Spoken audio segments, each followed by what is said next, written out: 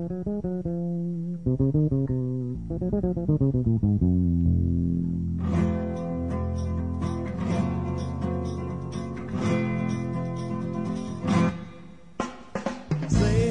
čovek stoji kraj puta, slepi čovek stoji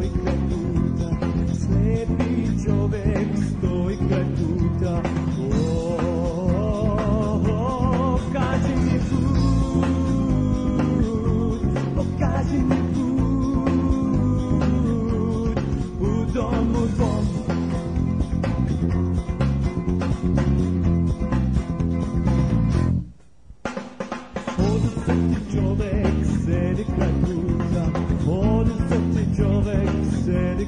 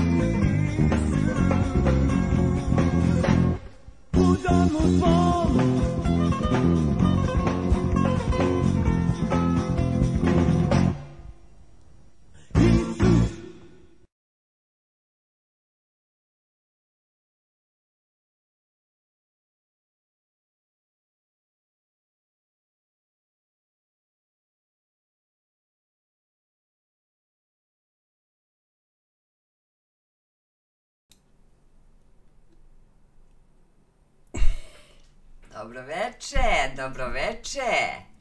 O, Ćao, ima narode. nas, ima nas, lepo, skupljamo se. Ćao narode, Božji narode, kako ste narode, jeste dobro narode, mi smo dobro, ne znam kako ste vi, ali nadam se da se klimnite glavom, ako ste dobro, Imate li to. zime kao kod nas, što je 12 stepeni, ne, danas je bilo 9 stepeni. Znači za zimske jakne. Naja, zola la, bilo je 12, da, 12, ja, Pa ono, Da. negde oko 1-2 sata, Okej. pre toga je bilo 9 i posle toga je bilo 9. Ljudi, evo da vas pozdravimo sve redom od početka pa do ovog kraja. Mirko, pozdrav tebi, Dobro veče, dobro veče Jo, pozdrav, ja, Koksi, Dobro također, veče, dobro Boži blagoslov također, Sićo, dušo. dobro je da si tu, super, drago mi je, veče, Andrejce, čao, Ja čao. mi takođe dobro veče, Samire, Op. Jasna takođe dobro veče, Gospod je moj spas, dobro veče, dobro veče, Anita dobro veče, dobro nam došla, Avenđa, Šapčanko, nisi na vašaru, dobro veče. Pripremi se, bit će mesa.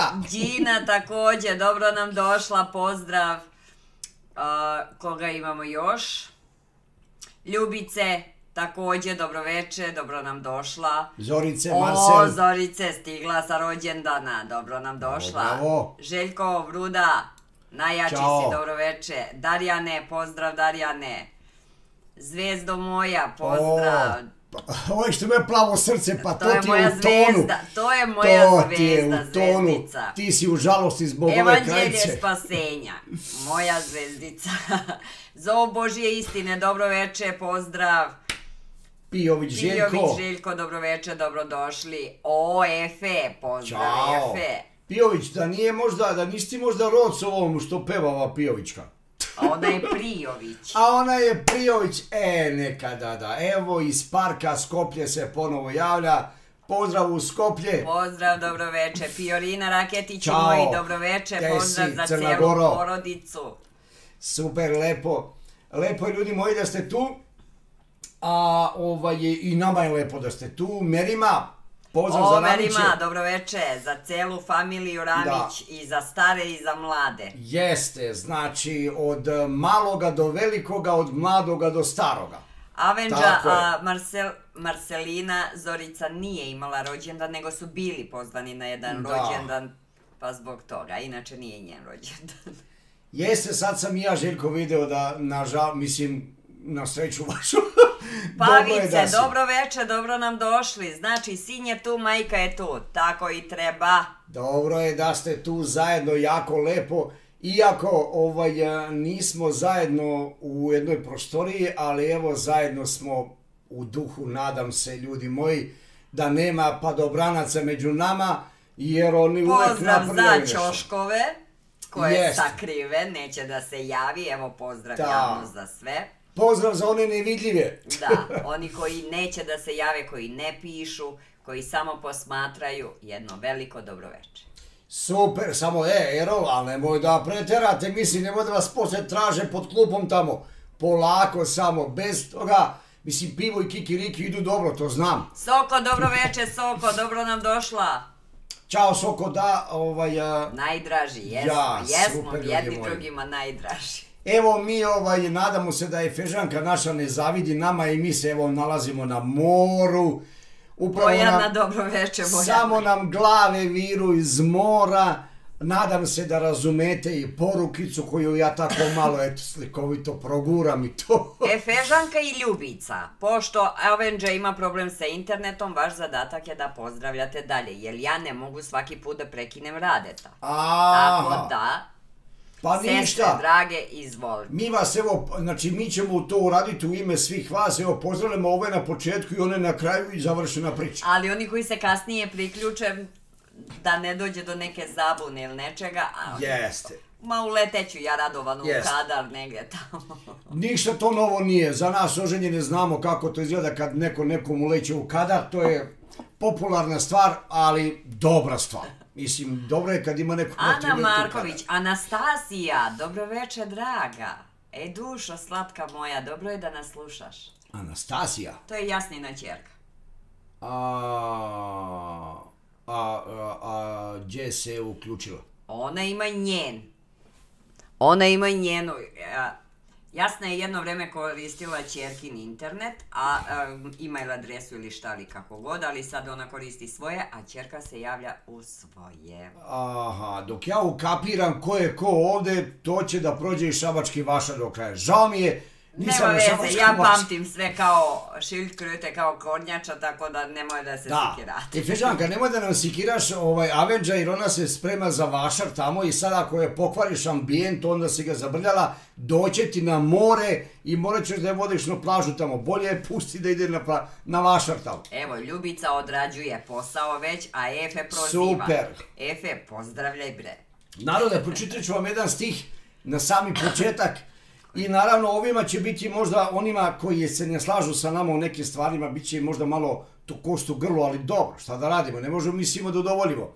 Znači, ovaj, eh, Jeremija, prorok, ovaj, eh, 50. glava i ovaj, eh, čitat ćemo recimo četvrti i peti stih, može ceo kontekst, ali tada stika su onako jako, jako lepa. Aha. Ok? Evo Danka će pročitati, znači Jeremija 54 i 5 u, znači znaku pozdrava. U te dane i u to vrijeme, govori gospod, doći će sinovi Izraelovi i sinovi Judini zajedno. Ići će plačući i tražit će gospoda Boga svojega. Pitaće za put u Sion i obrativši se onamo reći će Hodite, sednimo se s gospodom zavjetom večnim, ko- sjedinimo se s gospodom zavetom večnim koji se ne zaboravlja. Ja, ljudi moji, evo ovim stihovima vas ja pozdravljam, ali ujedno i želim nešto malo reći po tom pitanju. Znači, ovdje vidimo da je u pitanju, znači, neovisno o temi kojoj pričamo, o kojoj ćemo večeras malo razgovarati, nego jednostavno da podsjetimo neke ljude da ovo iznad moje glave što sam napisao, napisao sam namjerno, normalno da ljudi jednom shvate s kim posla imaju, da je ovaj, u pitanju ovdje vidimo poruka, inače kontekst ove glave govori o Vavilonu, a, bukvalno geografskom, mi znamo da a, tajna Vavilon jeste Jeruzalem, kao što smo o tome pričali, i naravno, kontekst svega toga, kada bi ljudi verovali da je to zaista rimokatolička crkva, taj Vavilon, onda bi rimokatolička crkva morala da dobije ovde neprijatelje sa severa, a koga bi dobila sa severa kad su oni svi njihovi, znači proročanstvo ne štima, je tako? Ali budući ako to gledamo ovako kako jeste da je Vavilon zaista kao južni deo Iraka i dan danas postoji, njemu će sa severa po proročanstvu i doći neprijatelj gdje će biti Kurdi uključeni u tu ovaj u taj napad a za razliku od onog napada na Izrael koji dolazi sa severa, koji će imati drugi, drugu poruku. Tada će taj sa severa doći, ili krajnjeg severa, da opljačka, da uzme zlata, blaga, a ovi koji dolaze na južni deo Iraka, na Vavilon, oni neće doći da a, pljačkaju i da uzimaju, nego će im u srcu biti osveta. A, Ankice, pozdrav, dobro veče. Pozdrav Ankice. Ali ovdje ono što je bitno za nas jeste da vidimo da će Izraelovi, Izraelovi sinovi, znači govori odvojeno o jednoj grupi Izraela i Judu, da će se oni sjediniti i sad gledajte ovo. A vi ste, znate da postoji jedan pokret koji sledi judaizam i kažu da zavet na Sijans, na Sinajskom brdu je večni zavet. I to na puno mesta piše večno, ali ljudi ne kapiraju ko- o, u kom kontekstu je rečeno. I vidimo ovdje da dolazi govor tog naroda da ne pitaju više za goru Sinaj, nego traže i pitaju za goru Sion, koja je gospodu mila i kaže da hodite, kaže, sedimo, sjedinimo se sa gospodom, zavetom večnim, koji se ne zaboravlja. Dakle, ovaj zavet na gori Sion će biti večan, jer u njemu će se Izrael ujediniti i izmiriti jedni s drugima i naravno sa gospodom, jer piše hodite, sjedinimo se sa gospodom. Biti jedno sa gospodom. To je prioritet crkve Hristove koja danas jeste jedno sa gospodom, jer je on glava, mi njegovo telo, odnosno njegov smo hram i mi danas to jesmo i zato je dan na izmaku. Dan spasenja u kojemu mi danas živimo i evo u ovom stihiću ovdje vidimo kako je ovaj proročanstvo dobro i ono što čeka Izrael, kao što reče brat Amir Carafati, molimo se za Izrael da se spasu dok još vremena imaju, a naravno mi se radujemo uskorom susretu s našim gospodom, jer smo sjedinjeni sa njim zavetom večnim. I to se nikada neće moći zaboraviti. Eto, to je ovaj malo za početak uvertira. Jadranka Štani- Staniševska, dobro veče. Porodica Dima, dobro veče. Pozdrav, pozdrav. Wow! A šta ovo bi? 26. 26. 20, 26, ovo je samo 26, ono je... Ne znam, to je verovatno neki njihov proračun, opet ne, ne mogu se bakćati sa tim. Ne znamo o čemu se raboti, a ovaj, e, koji, ko, je ovdje u finalu, a ko nije, nemamo pojma, ali dobro. Ovaj, e, da ne bi sada mi ovaj, tražili dva dana. A, dobar si je, dva, znači 26, znači dodaješ dvojku i na 26 bude dva dana, a ovo 26 je ekstra, šta? Ok, dobro ljudi moji, kako god, Dobro, ovaj, prođeš se bio u sahradu danas. Danas Jeste je, u Crnini, vidite, ja u Crnini, ljudi. Da, i ja sam samo, malo sam se ubelio gore, a inače imamo... Sad ovaj, ovih dana očekujem testament da mi stigne od kraljice Elizabete. Možda nasledim neki dvorac ili nešto. Da, da, da, da. Dobra Neće bre, ona reptil bila, ne Dobra je to poruka. Kraljica Elizabeta je vladala, ne živela, nego vladala 70 godina. A ovaj generacija, znači znamo da traje 70 godina, koja važi za crkvu Hristovu, naravno, i jeste punina, ili ne punina, nego Ahmet, pozdrav Je- Ahmet. u pitanju univerzalnost i recimo ponovno uspostavljanje Izraela. Dakle, misli se na svih 12 plemena. Evo danas smo kod mene na Telegramu na kanalu tamo malo komentarisali nešto kako je jako interesantno da su se sada konačno nakon nekog vremena pojavili ljudi kojima se dodeljuje certifikat kao dokaz i potvrda da su oni poreklom od nekog plemena iz Izraela. Jako interesantno. Znači, ako ničemu nije poslužila ova pandemija, poslužila je tome što su se neka plemena koja su izgubljena počela otkrivati A to kad su radili testove, jel? kako god, lažno ili istinito, ne znamo, ali vidimo da radi se na tome da je ovaj, znači pre par godina sam o tome pričao, da je pre nego je došla ova ovaj, tobož bolest, ovaj, da su oni radili na tom planu da pošalju svoje kurire po celome svetu i da uzimanjem brisa iz usta, a, to je ono što recimo kući kod nas u Srbiji što imaju ovde DNK uzimaju dokaz da li si tata ili nisi i tako dalje. To je sve bila. To je sve bila maska za ono što je iza toga stojalo kao plan i nemojmo nikad zaboraviti da ta organizacija koja dovodi Antihrista na vlast zove se tajna Vavilon.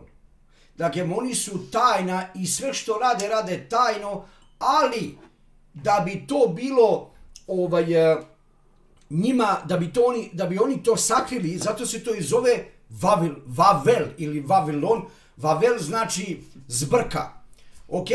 Ali ovaj, iza ovoga, kao što vidimo, stoji mno- mnogo, mnogo denominacija i, i mnogo a, prevarnih gdje su a, oni sakrili sebe iza mnogih denominacija jer su mogli da rade u pozadini da bi a, svoj cilj ostvarili i to ne trebamo nikad ovaj da smetnemo suma da sve što se tajno dešava mi možemo to prepoznati zato što znamo šta je tajna prava, ali znamo šta je laž, to jest Vavilon, ali budući da oni ljudi koji su podlegli uticaju svoje denominacije, oni nemaju pravu sliku o lažnoj crkvi, to jest a, o lažnom narodu ili tajni koja se zove Vavilon, jer su oni postali deo te tajne zato što su sledili nauku koja je došla od pristalica lažne nauke. Do dan danas. Bre, Efe, ti nećeš da sarađuješ sa Regirumom, sa državom. Kako ti nije žao? Da. Možda si od Estere neka. Možda vučeš nešto od jevreja. A, a garant traže. Moguće. Ma ne, nije htjela da se testira.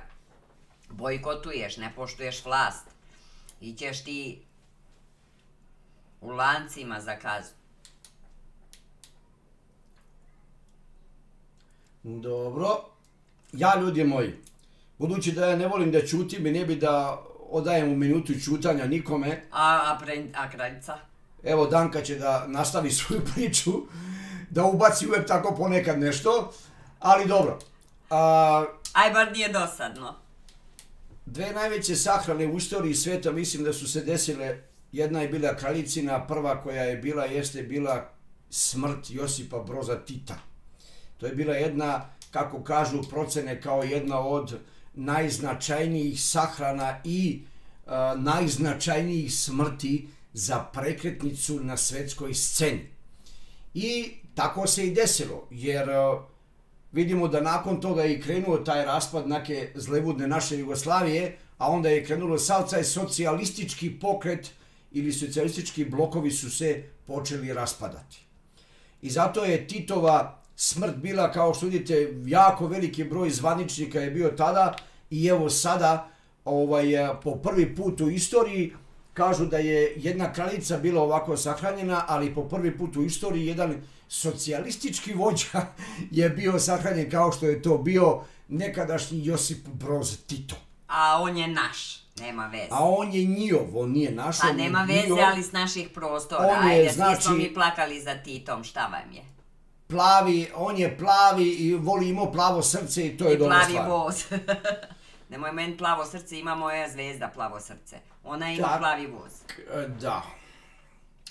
A, ne znam kako vi ovaj, e, gledate na ovo vreme u kojemu živimo, ali kao što vidite, kraj se bliži. A mi mi to pričamo odavno da se kraj bliži. A, stoga nemojte da ovaj, a, Brnabić ga ošla na sad, da, otišla je i ona i njen momak. Ovo je njena žena. Žena, Okonjala, žena. se. Ona nosi haljinče. Da, jedna je ošla u haljini, druga u pantalonama, pa sad vi pogađate ko je koja. Nije teško pogoditi, brate mili. Jel tako? A, generacija kipi. Da, Jeste. upravo tako. Am, znate i sami da kada dan polako prolazi, da mu se približava veče. Ali pre nego dođe veče, postoji jedan deo dana koji se zove pred veče. Pred večerije, ja. I o tome ćemo mi malo večeras da pričamo. Znam da će, znaš, tu ima, zato kažem, kada čitamo Bibliju, ajde da je čitamo onako kako treba da je čitamo. Ako piše da je bilo veče, onda je bilo veče. Ako piše da je bilo predveče, onda je predveče. Ali vidjet ćete kako je to bitno da obratimo pažnju na te detalje i oni koji se protive uznesenju crkve pre sedam godina, opet će moći da vide iz ovoga predveče da je jako bitno ovaj, i da je to vezano za crkvu Hristovu i doba, doba milosti. Prva stvar ili prva, a, prvo predveče ili kako tamo piše u Bibliji, kad zahladi, bilo je u Edenskom vrtu. A Edenski vrt, tamo je gospod tražio Adama. Nije tražio Evu, nego Adama, jer Eva nije ni imala ime, bila je žena. Znači, a, tražio je Adama i pitao ga je Adame, gde si? Dakle, Bog je znao gde je, samo je pitao ne bi li Adam shvatio gde je on. Je tako? Ali vidimo da je to bio neki običaj, kako kaže u pismu, običaj da je gospod dolazio u predvečerje da se sastane sa Adamom. Mislim, to je scena od koje se čovjek može samo naježiti kakvu je čast Adam imao i kakvu privilegiju u odnosu na sve generacije nakon njega da je mogao sa Bogom direktno da razgovara. Bog mu se javio u vidljivom obliku. I to je jasno ovaj, a, i viđeno i rečeno u, u tekstu koji piše ako čovjek dobro i pomno to gleda. Darjane, jesi ti bio tu ili nisi? Blagojče, pozdrav. Jeste Darijan bio. Ok. Pozdravila ja. Blago je Stojkoski, dobro večer, Blagojče. Bog sa nama, slava gospodu Isusu Hristu, amen. Amen. To je to. Znači, ovaj, vidimo da gospodu predvečerje jako stavlja akcenat na šta?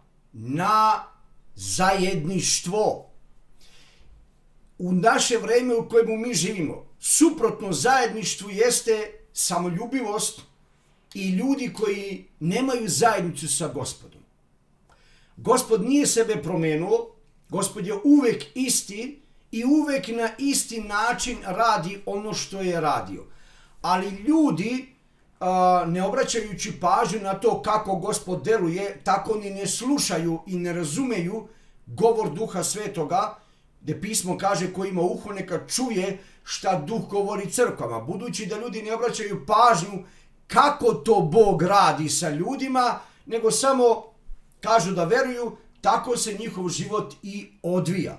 I, to je okej, po tome mi vidimo gde se ko nalazi. Da li ima zajednicu s gospodom ili je nema, ili koristi sebe u društvu nekih ili samo bude kao neki krpelj. Da se prikači na nekoga i to je to, ali on sam nema interesa za to. I to je ono o čemu apostol Pavle je govorio. Zato i piše u prvoj Solunjanima mi nismo deca noći niti tame, nego smo sinovi dana i sinovi svetla. Dakle, još uvijek je dan, a dan traje sve dok ne dođe veče. Ok, oni koji su bili u armiji znaju kako to izgleda, kad se svira povečer truba svira, priprema, marš u krevet još malo i to je to. Ali otprilike povečer je bilo i onda bilo je truba za spavanje. A, znači, pre nego što dođe počinak, dolazi večera, ali pre večere dolazi pred večer. Kao što smo rekli na početku. A, našim odlaskom, ljudi moji, našim odlaskom danas gledam kako Biblija to lepo govori. Našim odlaskom se završava dan. Dakle, i predveče se završava. Dakle, završava se dan u kojemu je crkva Hristova sijala, jer dan jeste zato što je crkva Hristova tu, jer u svetu vlada tam. U svetu je noć duhovna. A mi smo sinovi dana i sinovi svetla jer je Bog nama dao dan spasenja i zato se zovemo sinovi dana jer dan u kojemu živimo jeste dan spasenja. Domo pozdrav! Domo, pozdrav, dobro veče, za Niki isto veliki pozdrav. Da, da ovaj, e, tako da odlaskom našim sa ove zemlje, nadamo se uskoro, dragi moji, ovaj, e, neće više biti predstavnika neba na ovoj zemlji. Kad mi odemo. I sad kad pogledate koliko je to velika odgovornost nama predana, ne kao zapovez da moramo, nego nešto što u nama treba da živi, ako živiš ti, onda ne živi Hrist u tebi, ako živi Hrist u tebi, onda ne živiš ti. Znači nema laži, nema prevare, 100 kila svinja, 200 kila masti, ostalo su čvarci. Kao u. Pirotu. Sanela, pozdrav, dobro veče. Znači, ljudi moji, mi smo na zemlji ovde predstavnici neba i nebeske vladavine. Kako to izgleda ljudima kada se sretnu sa crkvom Hristovom? Kako izgleda kontakt ljudi sa vama kad se sretnu? Da li oni mogu da Hvala. kažu ovi ljudi su predstavnici neba. Petljamo li se mi u stvari ovoga sveta? Apostol Pavle kaže Timoteju da se nijedan vojnik ne petlja u stvari ovoga sveta. Znači da trebamo se čuvati takvih stvari kada dođu problemi ovoga svijeta da se mi, uh, mi ne bi trebali da se angažujemo puno oko toga i da budemo wow, zapaljeni, sad ćemo da lomimo kosti, da pravimo grati šminku na levo oko Pa i tako nekad ne bi bilo na odmeti to da se Da, uradi lepo nekima. se, možemo mi da se šalimo, nema problema koliko ćemo, ali kad govorimo ozbiljno o tome, onda je to ozbiljno, tako? Kada te čovjek vidi na ulici, dolazi li do zaključka da ti nisu od ovoga svijeta ili kaže da si ti došao iz podzemlja, ne daj Bože. To je onda opasna stvar. Sigurno da, iako zabrljamo, pitanje je kakav stav mi zauzimamo prema tome, jer ako priznajemo grehe svoje, priznavati znači da si slažeš sa Bogom, da je Bog u pravu, a da to što si ti uradio nije okej. I to danas nećemo čuti u svetu baš tek tako lako da ljudi kažu ej, kriv sam i tako dalje. Ne, ljudi neće da priznaju danas ni krivicu, ni čak da su slagali, uvek su u pravu. I to je problem. Ovaj, znači, našim odlaskom svet treba da primijeti da nas nema. Oni će primijetiti da nekoga na zemlji nema, a na prvom mestu, dragi moji, to je Bog u telu. Zato ovo ovdje iznad nas mora da bude ljudima pouka. Ko ne veruje u Isusa Hrista, taj ne veruje u Boga. I možda se pravda koliko god hoće, jer ovaj, zato se oni sa nama i raspravljaju. Slađo, dobro veče, Slađo. Ali na čao slažu, ali na kraju dana ovaj vidimo da se dešavaju uvek vidimo lepi lepi događaji. Recimo a u Borivo je Boro, pozdrav. Lenče takođe. Ćao, čao. Imate tamo u prvoj Mojsijevoj kada je kada je a, Noa slao golubicu. Znate kad mu se vratila, drugi put kad je poslao, vratila mu se predveče i nosila je u kljunu maslinovu grančicu. Ja to nama treba nešto da znači. Golubica je donela, nije donela maslinu kompletnu, donela grančicu u kljunu i to u predveče. Budući da je beli golub zato i postao poznat kao ptica koja donosi dobre glasove, ptica koja simbolizuje duha svetoga i jeste na jevrejskom Jona, onda mi iz toga zaista imamo dobru pouku i radosnu vest, wow, pa mi upravo o tome nešto i čujemo. Pre 100 godina nismo slušali poruku o miru i sigurnosti. Evo pre neki dan je naša draga sestra bila dole u, ovaj, u našem rodnom kraju i slikala mi jednu sličicu na jednom velikom billboardu tamo stoji mir i sigurnost. Znači, sve više i više čujemo o tome Mir, i lažni apostol, mir. i apostol Pavle, znači o tome govori u prvoj Solunjanima peta glava, kada budu rekli mir i sigurnost, dakle oni će živeti u miru i sigurnosti, onda će na njih navaliti bol kao na trudnu ženu. Jako interesantno i onda mi odmah automatski vežemo o kojoj ženi je reč. O Agari, koja rađa decu u mukama. Ok, Sara to nije osjetila. Dakle, prva stvar kao što vidimo na samom početku, gospod se s Adamom sastao u predvečerje, onda vidimo Noa dobija golubicu, nazad mu se vratila u predvečerje. Sa maslinovom grančicom u kljunu. A, druga, drugi događaj koji je interesantan a, jeste, čao korisnik. Sedam, sedam, sedam. Jako Dobro dobro. Mislim, interesantan ti broj, tri sedmice, ja. Ovaj, Zna čovek šta stavlja. Da, ja bih volio da staviš tri osmice, ali dobro, može i tri sedmice, nije, nije strašno. A, ali dobro. Znači, kao što rekao smo, vidimo da taj golub ima malo smisla tako u, u životu hrišćana, pogotovo što smo mi hram Boga koji jeste duh, a zove se u doba crkve ima titulu sveti, duh sveti. Ok, ispada da je duh ime, ali je sveti zato što je specijalno određen za specijalnu misiju i specijalni narod, a to je crkva Božija koju je gospod Bog stekao krvlju svojom. Ok, a, druga, znači ja sam samo pokupio par, možda ima toga još više. Drugi interesantan događaj u pismu je bio a, jedna od mojih omiljenih priča ili delova pisma jeste Izak i Rebeka. Navodno Rebeka, pa sigurno da je omiljeno kad i čerka Rebeka. I sad, ovaj, zato što je to slika, znate i sami, slika susreta crkve i Aleksandra, gospoda. pozdrav, dobro veče. Ćao Aleksandra, pozdrav i tebi. A, ti os, osmice kompletirana dispenzacija sjedinjenja neba i zemlje. Mož, mož kako hoćeš.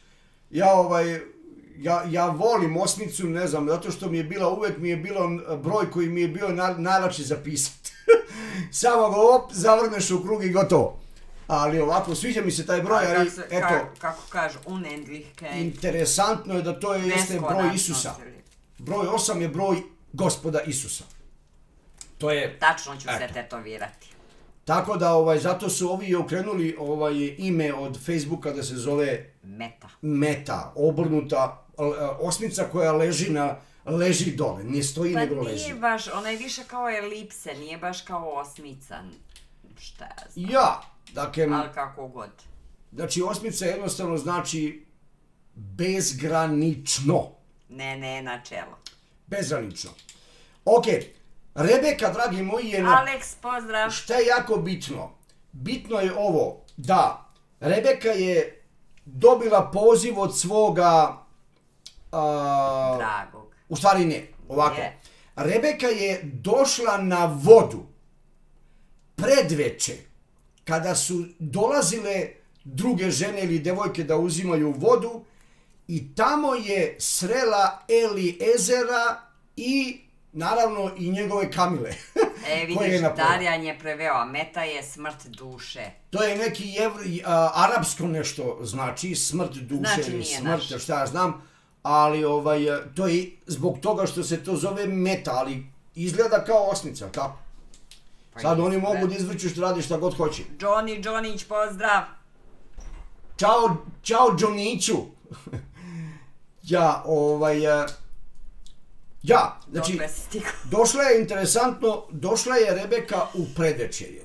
Znači, to je jako interesantno za nas da vidimo da je poznanstvo sa duhom svetim izgleda bilo u predvečerju. Nije moguće da je se Bane Đurđević javio posle 100 godina. Moje večernje, konačno ja tu, ezo, eto me, tele, Internet, hajde na reakciju je ispod ove godine, hvala gospodu, na tome idem. Dobro, on malo preskoči slova i šta ja znam, ali uglavnom kapiramo šta se radi.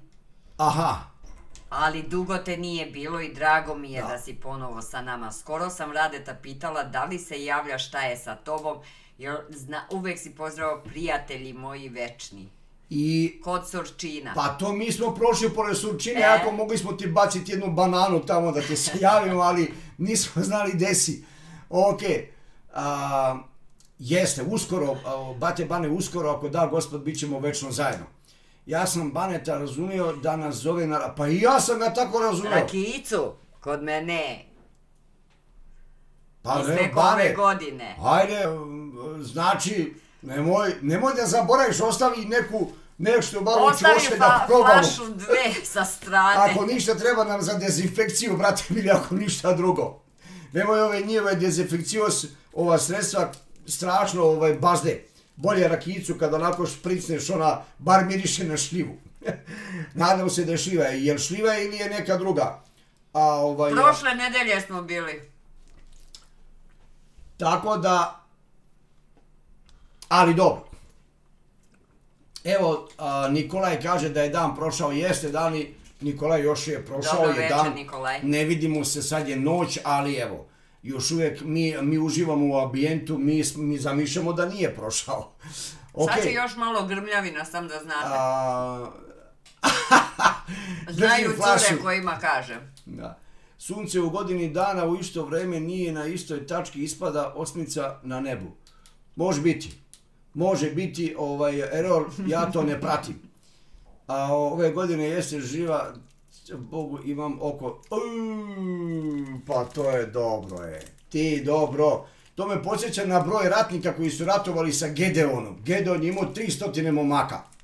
Vidiš, sve se to uklopilo. Ništa nam ne smije promaći. Nikolaj, kod nas mora da se loži. 9 stepeni hladno je. pa u svakom slučaju. Sreća što je to samo slika. Dobro ljudi moji, Rebeka je znači došla u predvečerje i srela se sa Elijezerom. Znači slika, znači ovaj, govori jednostavno o susretu crkve i duha svetoga koji je govorio kroz znači apostola Pavla na prvom mestu i njegovih saradnika da dolazi jedno doba. A, jako je bitno to što recimo znamo da ovaj a, a, Zora ima jednu zvezdu koja se zove Zornjača ili zvezda Danica i ta zvezda Danica se pominje u kontekstu izraelskog naroda kao i sunce koje treba da izađe i da sija za hiljadugodišnje carstvo. A, zato, dragi moji, ovaj, je bitno da i tu simboliku pisma lepo sortiramo, a, jeste da, znači, kada gospod Isus se bude pojavio na nebu, on će biti za Izrael zvezda Zornjača ili zvezda Danica, jer će se jedino, jedino svetlo na nebu nakon sedam godina će, koje se bude videlo, bit će gospod. Zato on sebe naziva zvezda. Sem toga, on je zvezda iz Jakova, koju je opisao a, onaj a, tamo u četvrtoj knjizi Mojsijevoj, kod mene je Valam, sin Veorov. On je rekao da vidi zvezdu iz Jakova, ali ne blizu, nego daleko, i da će se ona tamo pojaviti. Znamo da je se pojavila zvezda na nebu kad se gospod Isus rodio i znamo da će se opet u, toj, u tom dobu nakon sedam godina pojaviti znak na nebu, znak sina čovečijeg, starozavetni znak sina čovečijeg jeste zvezda danica kao što vidimo u pismu. I ovaj, a onda kada on dođe na zemlju, onda kažeće da sine sunce pravde i počinje hiljadugodišnje carstvo. je Rol napisao, sunce, mesec i zvijezde neće biti na nebu u hiljadu godina. A to ti, ovaj, ne znam, opet ste nešto zaključili, ali Sveto pismo kaže da će sunčeva svetlost u hiljadu godina biti sedam puta jača nego što je sad. Znači, bit će. Druga stvar, zakon sunca i meseca, zakon dana i noći, zime i leta, žetve i setve neće prestati dokle god bude bila zemlja ovde. Tako kaže Sveto pismo. Znači, zakon dana i noći neće prestajati dokle god bude, dokle god ova zemlja stoji. E sad, kako, Kako god. ko veruje, Ok. A, znači ovako. A, onda šta se desilo? Izak je, dragi moji, izašao u polje u predveče. I onda je ugledao kamile koje su dolazile iz tog ovaj smjera odakle dolazi Rebeka iz njenog naroda i naravno Rebeka je skočila sa kamile kad je čula da je tamo da dolazi Isak. Ona je pitala, jako interesantno, uj bre onaj! ona nije znala, nije, ga nikad vidjela. Ona je čula o njemu od Elijezera. I mi smo čuli o našem gospodu Isusu od duha svetoga, ali ga nismo vidjeli. I zato je jako interesantno da i ovaj detalj obratite malo pažnju, da razmišljate o tome, da ne bi sad trčao po moje sveske da čitam, ovaj, zašto je Rebeka pitala ko je ono što dolazi nama u susret preko polja, što ide tamo. A onda je Elijezer rekao, to je moj gospodar, Isak. Znači nije rekao ono je e, sin moga gospodara. Pomper, pozdrav! Ok? Kao što neki nas pokušavaju da nas naterati da priznamo nešto što ne možemo da priznamo. Nije Elijezer rekao ono je sin moga gospodara, nego je rekao ono je moj gospodar. Isak. Ok? Kojemu sve pripada. I to je, dragi moji, znači susret Isaka i Rebeke kad se desio? Uveče ili predveče? Pa predveče, brate mili.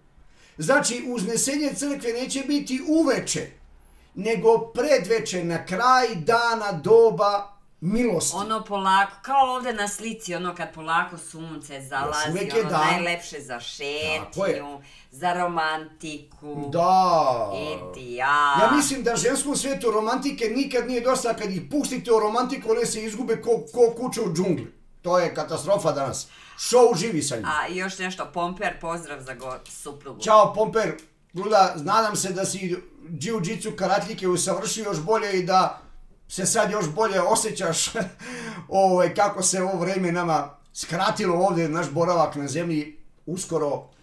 Ćao, Jasna, čao. Ja se ne penjem na Kamilu. To samo rado vam pijem mleko od Kamile, ali ja se ne penjem na Kamilu. A, a pa bolje da nemamo kamile. Jedino ovi koji puše one cigare kamel možda imaju osjećaj kao da jašu na kamilama kad je uvati nirvana ona njihova. I to, a, jer su Rebeku zatukli putem kroz veliku nevolju došle... Zato A! se pokrila, zato se Pa, biti pokrila. par modrica da, da ne se- vide plavo oko. Da ne pita Izak odakle ti to dođe, jedna ne bila šta si šumu krčila usput.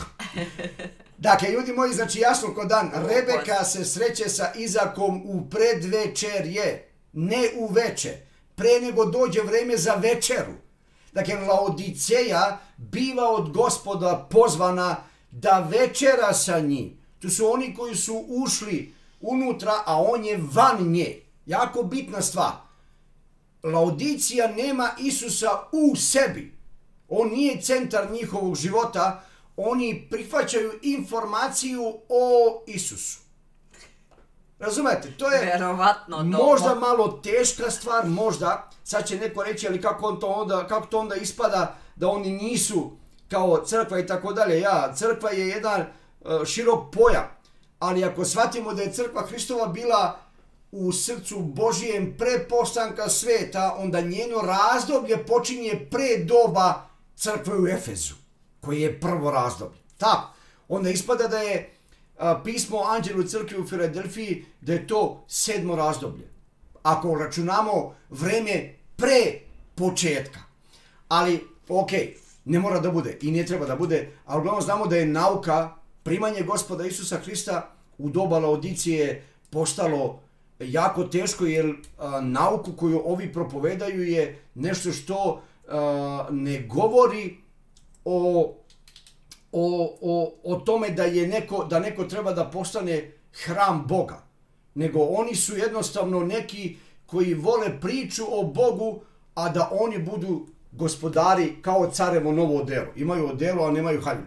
Znači nemaju ni haljinu, niti imaju a, sve one vrednosti Koliko od majke rođeni. kvalitete nikakve ništa u pitanju zato što gospod nije a, a, gospod nije ovaj a, njima važan u životu što recimo jako može dobro da simbolizuje šta da simbolizuje ako ti gospoda nemaš u svome srcu i nije u tebi onda znači da ti duha svetoga ne nemaš ti si samo čuo nauku o njemu ali nisi prihvatio nisi čuo evanđelje Hristovo čuo si neku priču o Bogu Bane, nismo bili na Surčinu, nego smo prošli pored. Samo smo prošli, išli smo za palanku. A, to biše Goran nešto Ali nismo bili u Surčinu, Da. nažalost. Samo smo prošli tamo.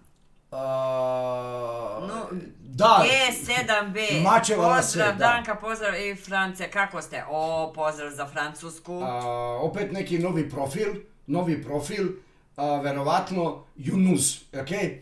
Ili kako god Ne ali nemamo, uglavnom, u svakom slučaju, pozdravljamo Velija, te. Velija.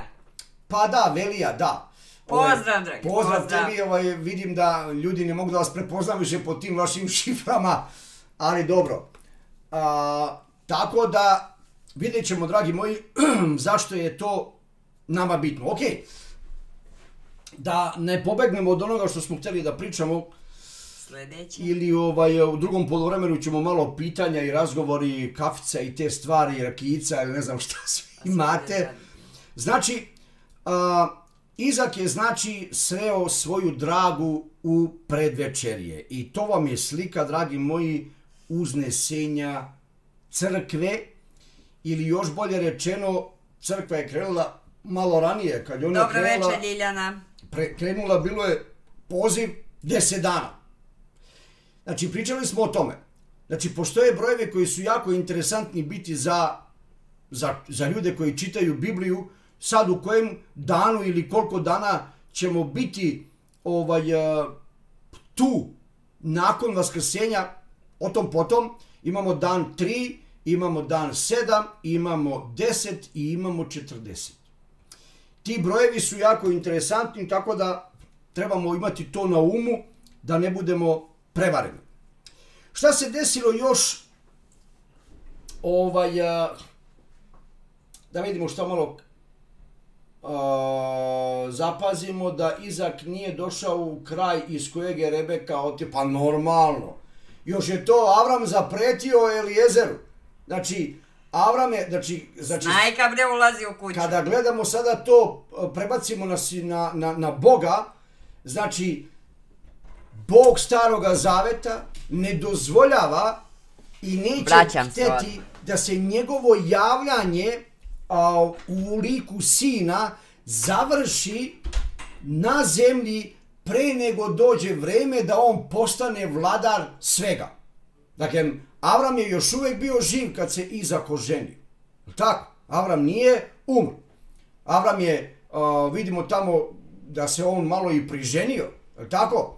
I te kasnije vidimo da su Izak i ovaj, Ismael došli i sahranili svoga oca. Tad je Izak video oca, ali otac Avram nije više video Izaka od onog dana kad ga je Sara odvela sa sobom. Što je jako interesantno, dragi moji. Jako interesantno gdje je naš gospod i da on pripada nebeskom narodu, nebeski Jeruzalem, a ne ovozemaljski, kao što to neki govore. Nemam koktel, ali imam čašu za vino i sok od višanja. A, pa to je ovaj, e, ja dobro, znači to ljudi, ljudi se rugaju tom tajnom, kao tajni dolaze. Nama nije tajna, mi znamo da mi njega čekamo. Ali za svijet će biti, jel tako, ko što si rekao, za one koji ovdje ostaju, njima to i jeste tajna, jer da nije tajna ne bi ostali tu. I to je normalno. A, bilo klipovi dosta dani, mislila sam da si men... ja, pa ne, gdje bi ja bez vas, ljudi moji, uznesenje bez vas neće da, ne, neće da ide. Kako čovječe? A, jeste domo, slažemo, znači to je otkrivenje, 12. glava je polovina, a, polovina 7 godina to je jasno, ljudi moji, kao dan piše i tu, ovaj, ja mislim, nema tu 2017. godine je značajna po nečemu drugom, a ne po ovome. I sem toga, kakve godine, kakvi bakrači, to nas ne zanima.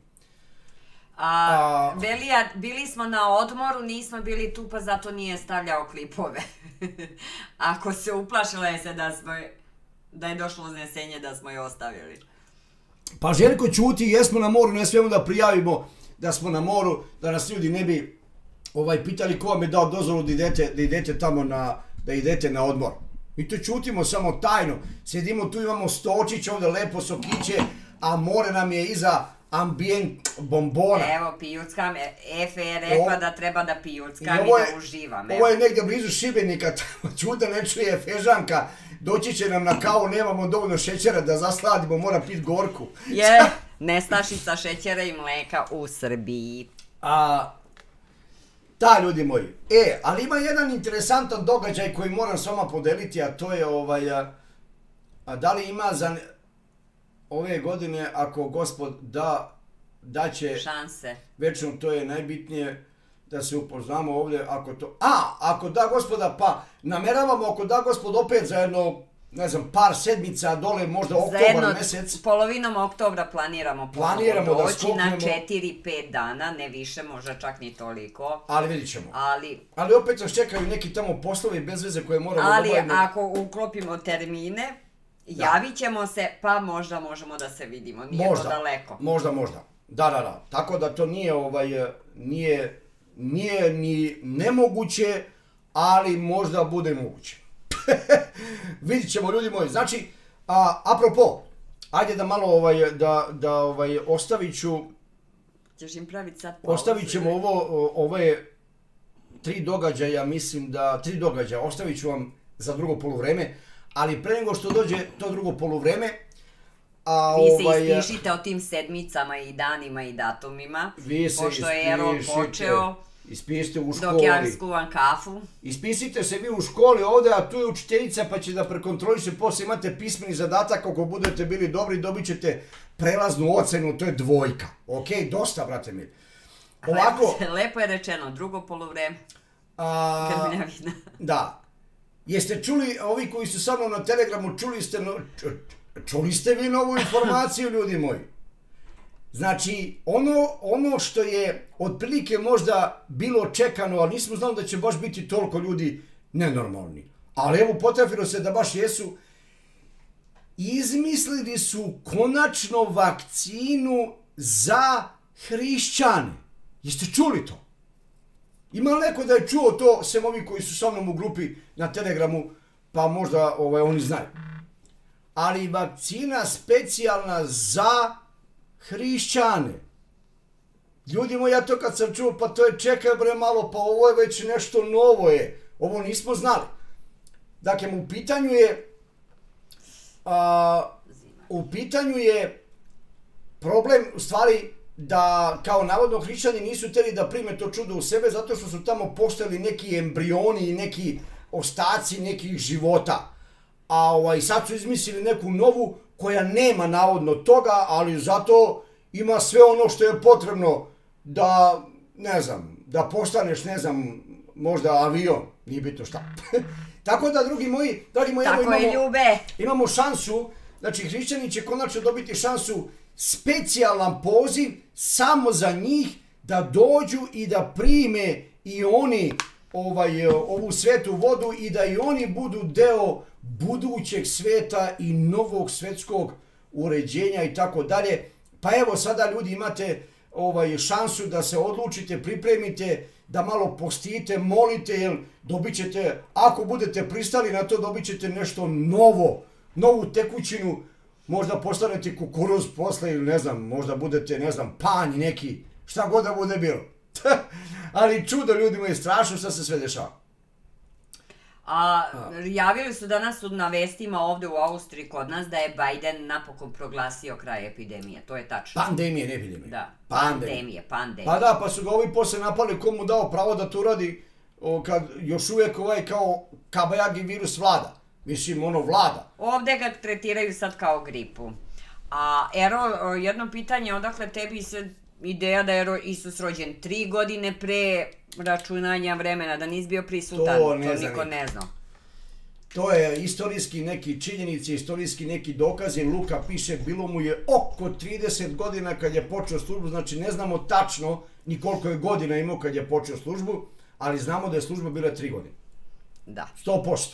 A za E, sve drugo...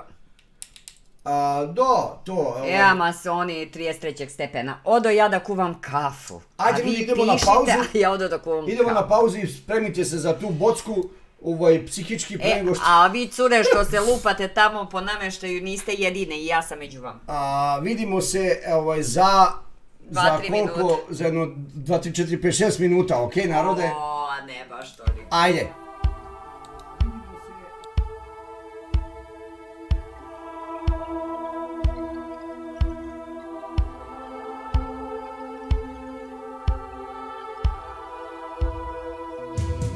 Maranatha.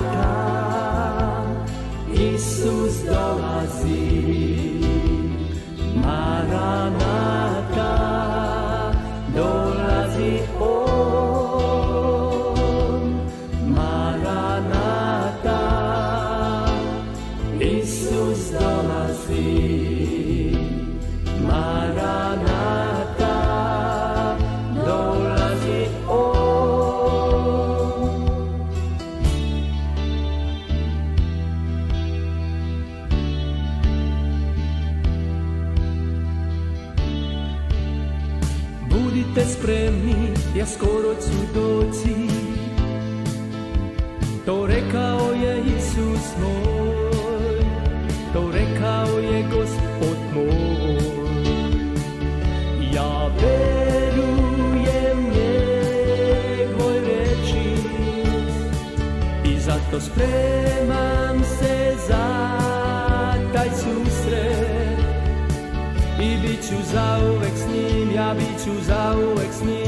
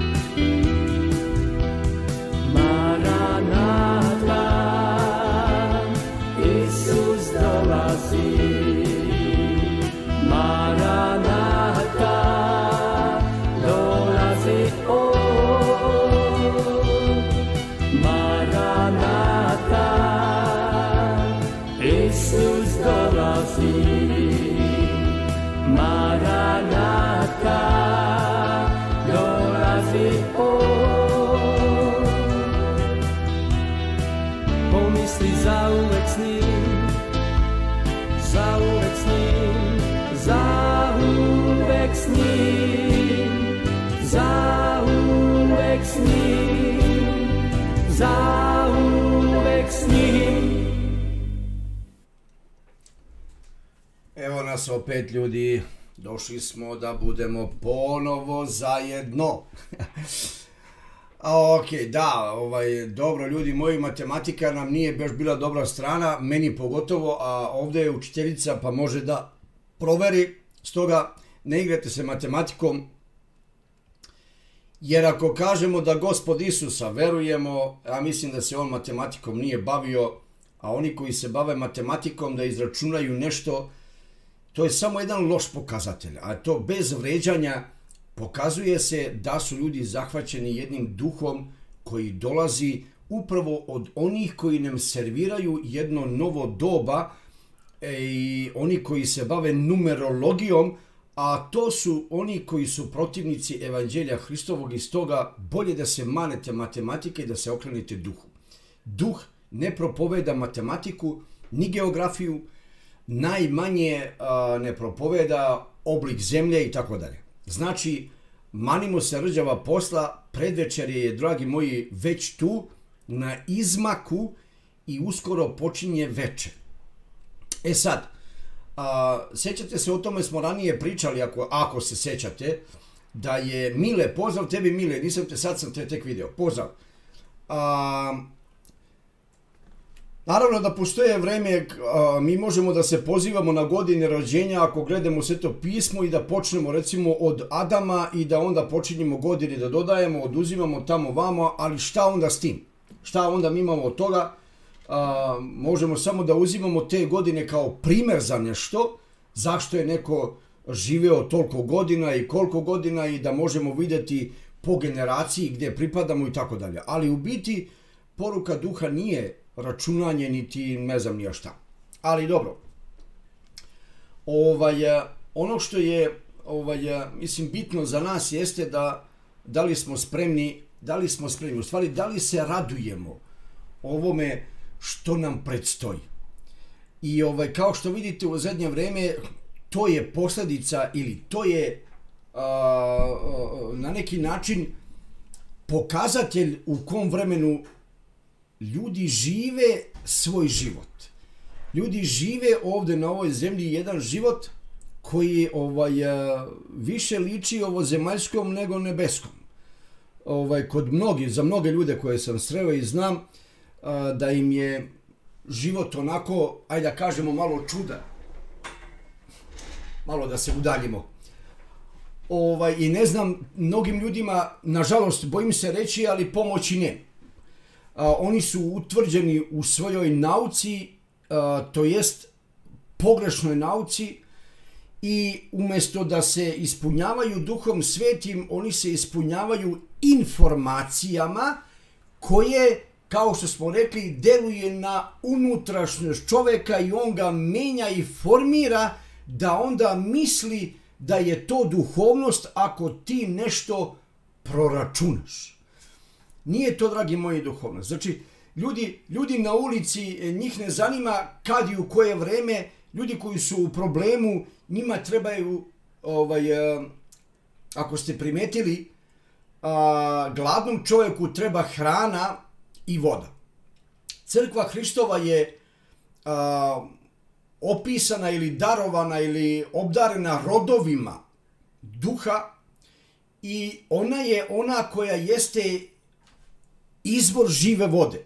Dakle, oni koji prime duha svetoga u sebe, rekao je gospod, će biti kao izvor žive vode, ali naravno da smo slika jednog drveta, što bi mi rekli, možda rekli života, kako god, na kojima se nalaze rodovi duhovni. I upravo od tih rodova crkva živi i ona daje drugima hranu koje jesu rodovi. Dakle, ako to nije u našem životu tako i da ovaj ljudi ne mogu sa nas iz našeg života uzabrati ništa, onda se postavlja pitanje da li smo mi uopšte nešto primili. Jer je nemoguće da rodovi koje su nas nahranili ne budu više na nama. Nismo valjda uvenula grana ili ne znam ja šta. A, ok, a, svi sedam svetih praznika su matematički savršeno prorečeni. Moguće je da je, ali to ne važi za crkvu Hristovu. Ako već pričamo o tome i govorimo da smo crkva, crkva se ne bavi matematikom, niti se bavi a, praznicima jevrejskim, zato je Miroljub Petrović napravio novi zakon i ostali da trebamo da držimo jevrejske praznike, jer su oni savršena slika nečega, niko nije rekao da nije, ali mi ih ne držimo. Ok, mi učimo neku, neku pouku iz njih. A,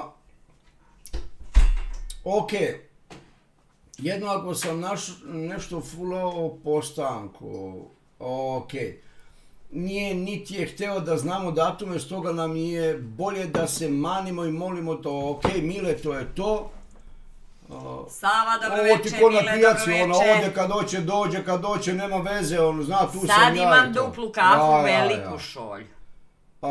Lakrdiju sa ovom bakom iz o, još četiri, čita tekst iz Biblije.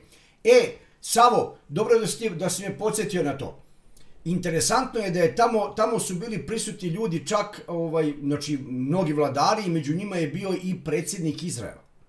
I interesantno da su oni čitali, baš koliko sam ja ono razumeo, čitali su Jovan 14.3, baš kad je ovaj zadnji ovaj, pred njenu, nje- njenu sahranu tamo unutra, čitali su Jovan, Jovan 14.3.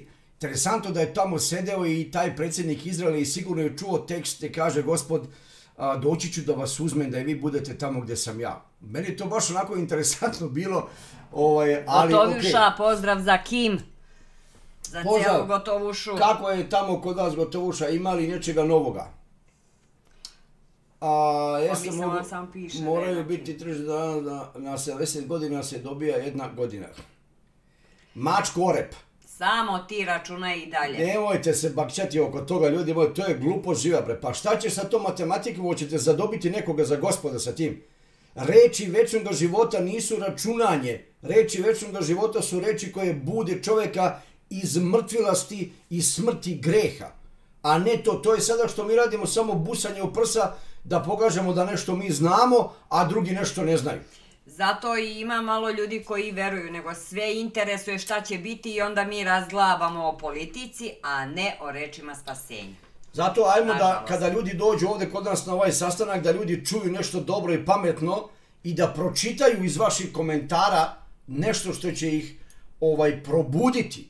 Ovo samo može da ih zbuni kad na ovakav način ovaj pišete ovako te neke stvari računate matematiku i kad je koja godina bila i tako dalje i tako dalje.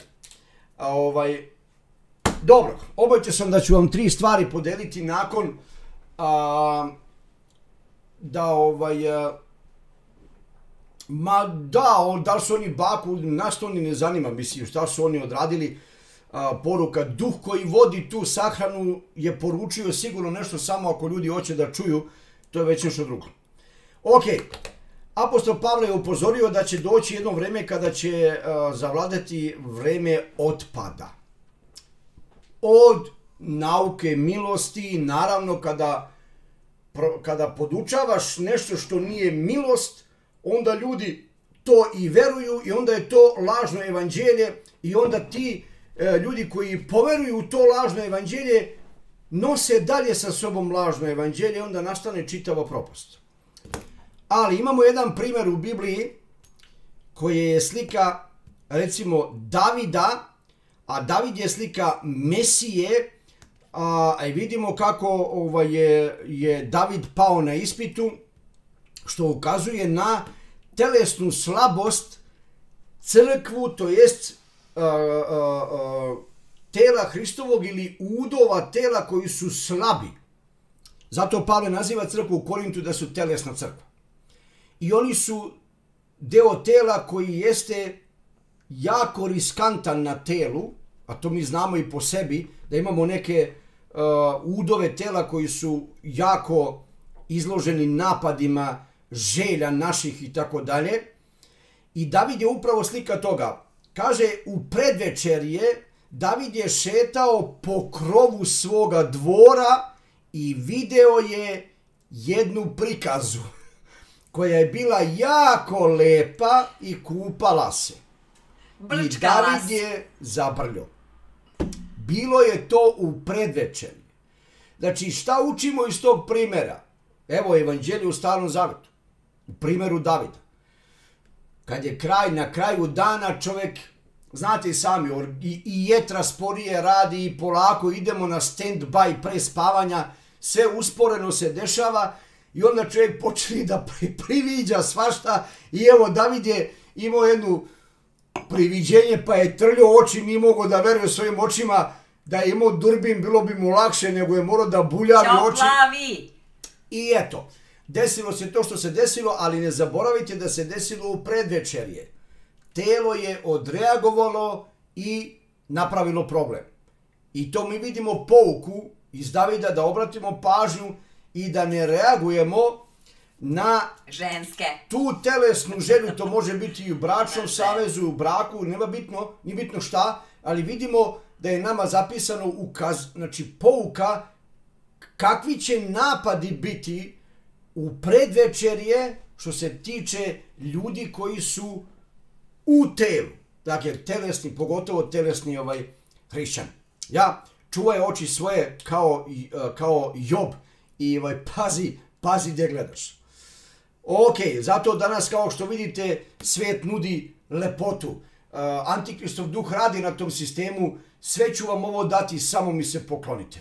Tako je i Davidu ponudio curu, to je ženu, koja je bila jako lepa. David je bio spreman i krunu da izgubi samo da bude sa njom. I umalo je izgubio glavu, To ti je ljubav. Ali je zahvaljujući Božjoj milosti, on je ostao to što je ostao, ali i sami vidite zašto je u pismu Anđelu crkve u Efezu, u, ovaj, u Filadelfiji napisano čuvaj tvoju krunu da ti neko ne uzme. Evo vidite na koji način postoji opasnost da tvoje, tvoja, tvoja vladavina ili tvoja nagrada ili tvoja kruna i ne zaboravite da je ovaj, David bio na krovu svoje, svoga dvora. Znate šta se vidi? Vjerojatno ima otvorenu terasu. Znate šta se vidi ovaj, e, kada gledate Jeruzalem, vidite krov od hrama, a krov od hrama, o tome smo zadnji put isto pričali, liči kao kruna okolo. Znači da je na samom kraju, dragi moji, se dešavaju strašne stvari. I kao što čujemo, evo u zadnje vreme čujete da mnogo ljudi kuka upravo kako mu je teško, kako je umoran, kako ne može da je zdrži, vole uživanje, volili bi da im bude fino, da idu na more, da idu na planine, da neko uživanje se budi, neka telesnost u ljudima, zaboravljaju da je uživanje u gospodu, a ne u ovome svetu. I baš danas sam imali kod mene jedan divan razgovor ovdje s našom dečicom, pa smo onako u razgovoru ovaj, razmišljali malo o tome, postavio sam im pitanje šta bi vi radili kada biste vi bili duhovi? Da li biste mogli da jedete, da pijete, da vozite motore, auta, da idete na more, da... Šta bi radili kao duhovi, u čemu biste uživali? I u tom, dragi moji, u toj slici možete da vidite sebe u čemu vi uživate. I da vidite da li je to duh koji deluje u vama ili je to vaše telo. Pa ćete onda da vidite da se nalazite. Nikolaj, tako ti je to kad ti se bakćeš sa ženama pa su te blokirali. I to Ah. sa kojim ženama? Malo šale. Dobro, aj pričajte malo o ženama. Malo šale. Ajde malo da čujem to o ženama, šta imate još da kažete. Jesi se oženio? ne, pa pročitaj jesi postao, komentare. jesi postao švaler? Jesi bio negdje u nekoj kući što ima probodeno srce? A, pišuš i muziku za takve stvari, u čemu, se, šta, u čemu Pa je kod problem? more. Pa dobro, šta sad? Ne kapiram. Pa blokirale ga tamo i šta ja znam. Pa šta radiš tamo, što te blokira, znači lupetaš tamo neke stvari dok te Hoćeš blokiraju. ko ženske. Ođe kod nas, dragi moji, nadam se da smo ozbiljni i nadam se da vam je ozbiljno da budemo ozbiljni. Ako nije, možemo da napravimo pauzu do uznesenja, ako ovaj, ono, vam nije ovaj, bitno da mi budemo, da pričamo o onim stvarima koje su bitne. Ako ćemo, mislim, ako hoćete da pričamo o, o švaleraciji, imam puno toga da vam pričam. Kakve sam ljude upoznao, Ja šta sam video. Nema problema, možemo pričamo mi o čemu god hoćete. Nije problem. Ovo družinu, malo da budemo zajedno, skuvamo kaficu i da vi lepo meni pričate kako ste kopali kukuruze, kako ste brali višnje, kako ste kuvali slatko, Ajva. da mi pričate recimo jeste, kako ti je petu preskočio preko plota i tako dalje i tako dalje. Ako, znači vi slobodno možete napisati u komentarima o čemu vi želite da mi pričamo. Što kaže, ne moramo da penim ovdje da pričamo o Bogu. Nije, Ni ovo je bitno. sad bio razgovor o Plavi i Nikolaj su prisali, a ja sam ja kažem, nije bitno. pa Moraju ljudi pisati. Nije bitno, znači ako vi ne želite da mi pričamo o Bogu, pričajte o čemu želite da mi pričamo. Uvijek ćemo naći neku temu. Evo sad je vrijeme da se prave kompoti, da kuvamo slatko, pečemo bundeve, pa recepte možemo da delimo jedni s drugima ako hoćete, nije problem. Treba, ja sam upravo secko jabuke, danas treba da malo prosušim, da pripremim malo, da upalim mašinu za sušenje jabuka i tako to, da imamo da pripremu za zimu, možda bude neka strašna zima. I tako dalje. Vanko Kolev, dobroveče! Vanko, zdravo brate Vanko, dobro veče, pozdrav tebi. Pa Goran propoveda uznesenja, ali negde u velikim nevoljama, ili kako, Nikolić, kad on? Ja i ne slušam njega. Znam da nismo istomišljenici, jednom, dva put sam ga poslušala i više nikad. Znam da sve govori suprotno nama, da veruje sve suprotno nama. Goran može da propoveda šta hoće, Goranu fali jedna komponenta. A znate koja komponenta mu fali, to se zove Duh Sveti. Sad će mnogi da se pitaju kako je to moguće. Ljudi moji, Da, da, Goran Duh. Sveti, se ne, e, Duh Sveti ne propoveda Sinajski zavet. Niti propoveda spasenje po delima, ko to propoveda, taj Duha Svetoga nema. A Goran Nikolić možda čita Bibliju dok hoće i koliko hoće, on i njegova baba Vanga, ista su družina. Ispovedati Elena, Ispove, Elena. ispovedati u ustima nešto. Isto kao i jevreji što su ispovedali u ustima, ali gospod im je rekao, vaš otac je đavo. I to je jako bitno. Da ne zaboravite i nemoj da vas neko zavodi i da vas uvlači u svoje sekte.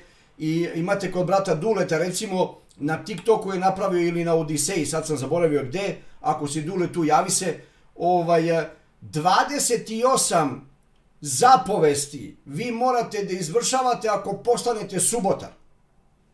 I onda si ti pravi hrišćanin. To je subota. Stoga, dragi moji, obratite pažnju. Ja ovaj, ne bi da vas tražimo, da vas tražimo, da vam budemo izbavitelji u sedam godina, da vas tražimo po nekim ruševinama tamo. Ok?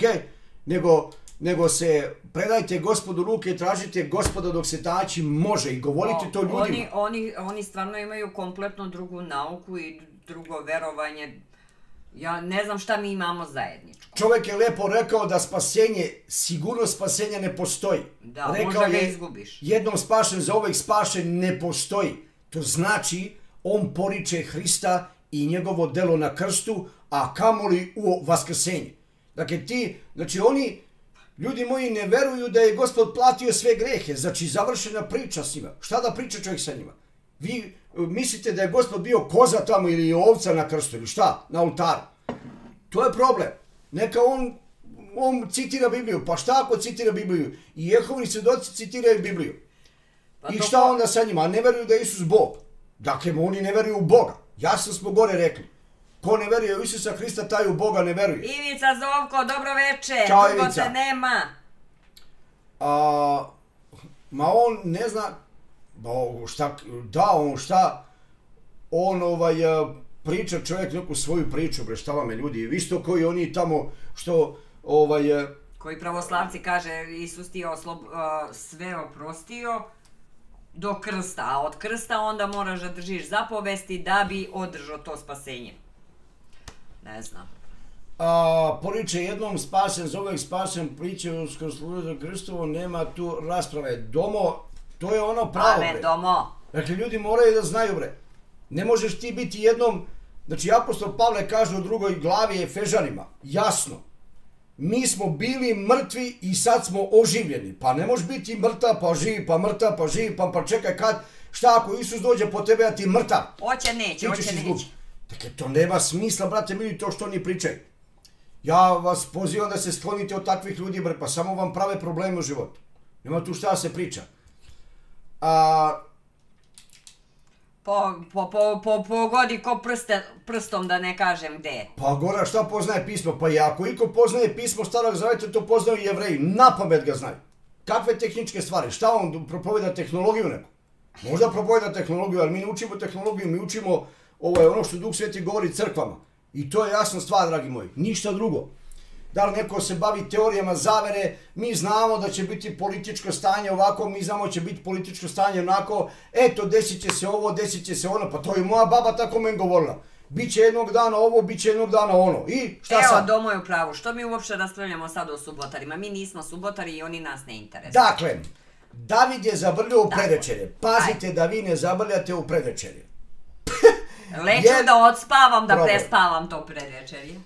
A, ovako, da u Evanđelju po Mateju, 14. glava, od 15. stiha pa nadalje, piše da je gospod nahranio 5000 ljudi, ali u predvečerje. Oni su jeli, dobili su večeru, ali nije bilo vreme za večeru, nego su dobili da jedu jer su bili tri dana sa gospodom i nisu ništa jeli. I gospod im je dao, to jest rekao je učenicima, pa dajte mi da jedu. Jako interesantno, da? Oni kažu, gde bi mi odakle višti šta ga naroda? I onda je gospod učinio to da je nahranio 5000 ljudi, predvečerje je bilo, a onda, nakon toga, Isus ode na goru, visoku, sam, da se moli. Da li nam to nešto govori? Ja mislim da govori. Ako neko razume o čemu pričamo i šta mi verujemo, jasno pokazuje da je Isus opet napustio narod, napustio je učenike i otišao je sam na goru Da odmori se moli. mozak. Dakle, jasno kao dan, mi smo telo Hristovo, mi nemamo ovaj, eh, ovaj, eh, veze sa učenicima, jer učenici su bili ljudi koji nisu imali duha svetoga, i tu možda spada kompanija adventistička i ostala, jer oni ovaj imaju jedan problem, a to je, kao što vidite, ovaj sami znate šta oni veruju, i tu leži problem. Znači, gospod ponovo odvaja, odlazi, crkva Hristova je bila tu, gospod odlazi, i znači njegovo telo, da bismo završili i okončali šta? Znači imate otkrivenje peta glava, starešine imaju kadionice pune tamjana koje jesu molitve svetih. Idemo na nebo da okončamo molitve i onda nakon toga dolazimo na ovu zemlju. Kao što je gospod sišao sa gore i nastavio dalje službu. Jako interesantna hronologija ovih događaja. A, onda šta je još interesantno, a, treća stvar koju sam htio s vama da podelim jeste a, u Evanđelju po Marku prva glava 32. stih piše da ovaj po zalasku sunca ili a, predveče, znači predveče, znači sunce je zašlo, ali nije pao mrak. Mi sami Suton. znamo da sunce može da zađe, ali da još uvijek bude dan, pre nego dođe veče je predveče, da su tada dolazili i donosili su njemu sve bolesne i besne. Ko su bili ti bolesni i ko su bili ti besni. Ali šta je bitno? Njemu su, ne učenicima, nego njemu su donosili. I oni koji prate moj kanal već od i koji se sa mnom ovdje druže malo duže vreme, znate sami da ovaj, govorili smo malo i o tome. Ne moramo mi puno da lutamo po svetu i da puno mi tražimo. Bitno je da ljudi znaju ko vi jeste i da ljudi znaju šta vi verujete i onda će gospod, isto kao što se pobrinuo za Adama, dovesti Evu Adamu, tako će gospod telu Hristovom dovoditi nove kontakte, dovoditi nove ljude koji su bolesti od bilo kakve bolesti, jer reč Božija daje zdravlje celom telu. Jel tako piše? I onda kaže da je rečju gospod lečio ljude i isteravao demone rečju. Ne zapovedam ti u ime Isusa izađi. To ne. Nego rečju. Zato ljudi nemaju vremena da, da čitaju reč da bi je upotrebili u životu ljudi, da ona deluje, nego vole da oni to urade pa da oni budu neki iscelitelji, pa da dobiju onda oni Da neku... se pročuju. Jeste, da dobiju slavu ovoga sveta, aplauz od ovoga sveta, wow, eno ga ima iscelitelj.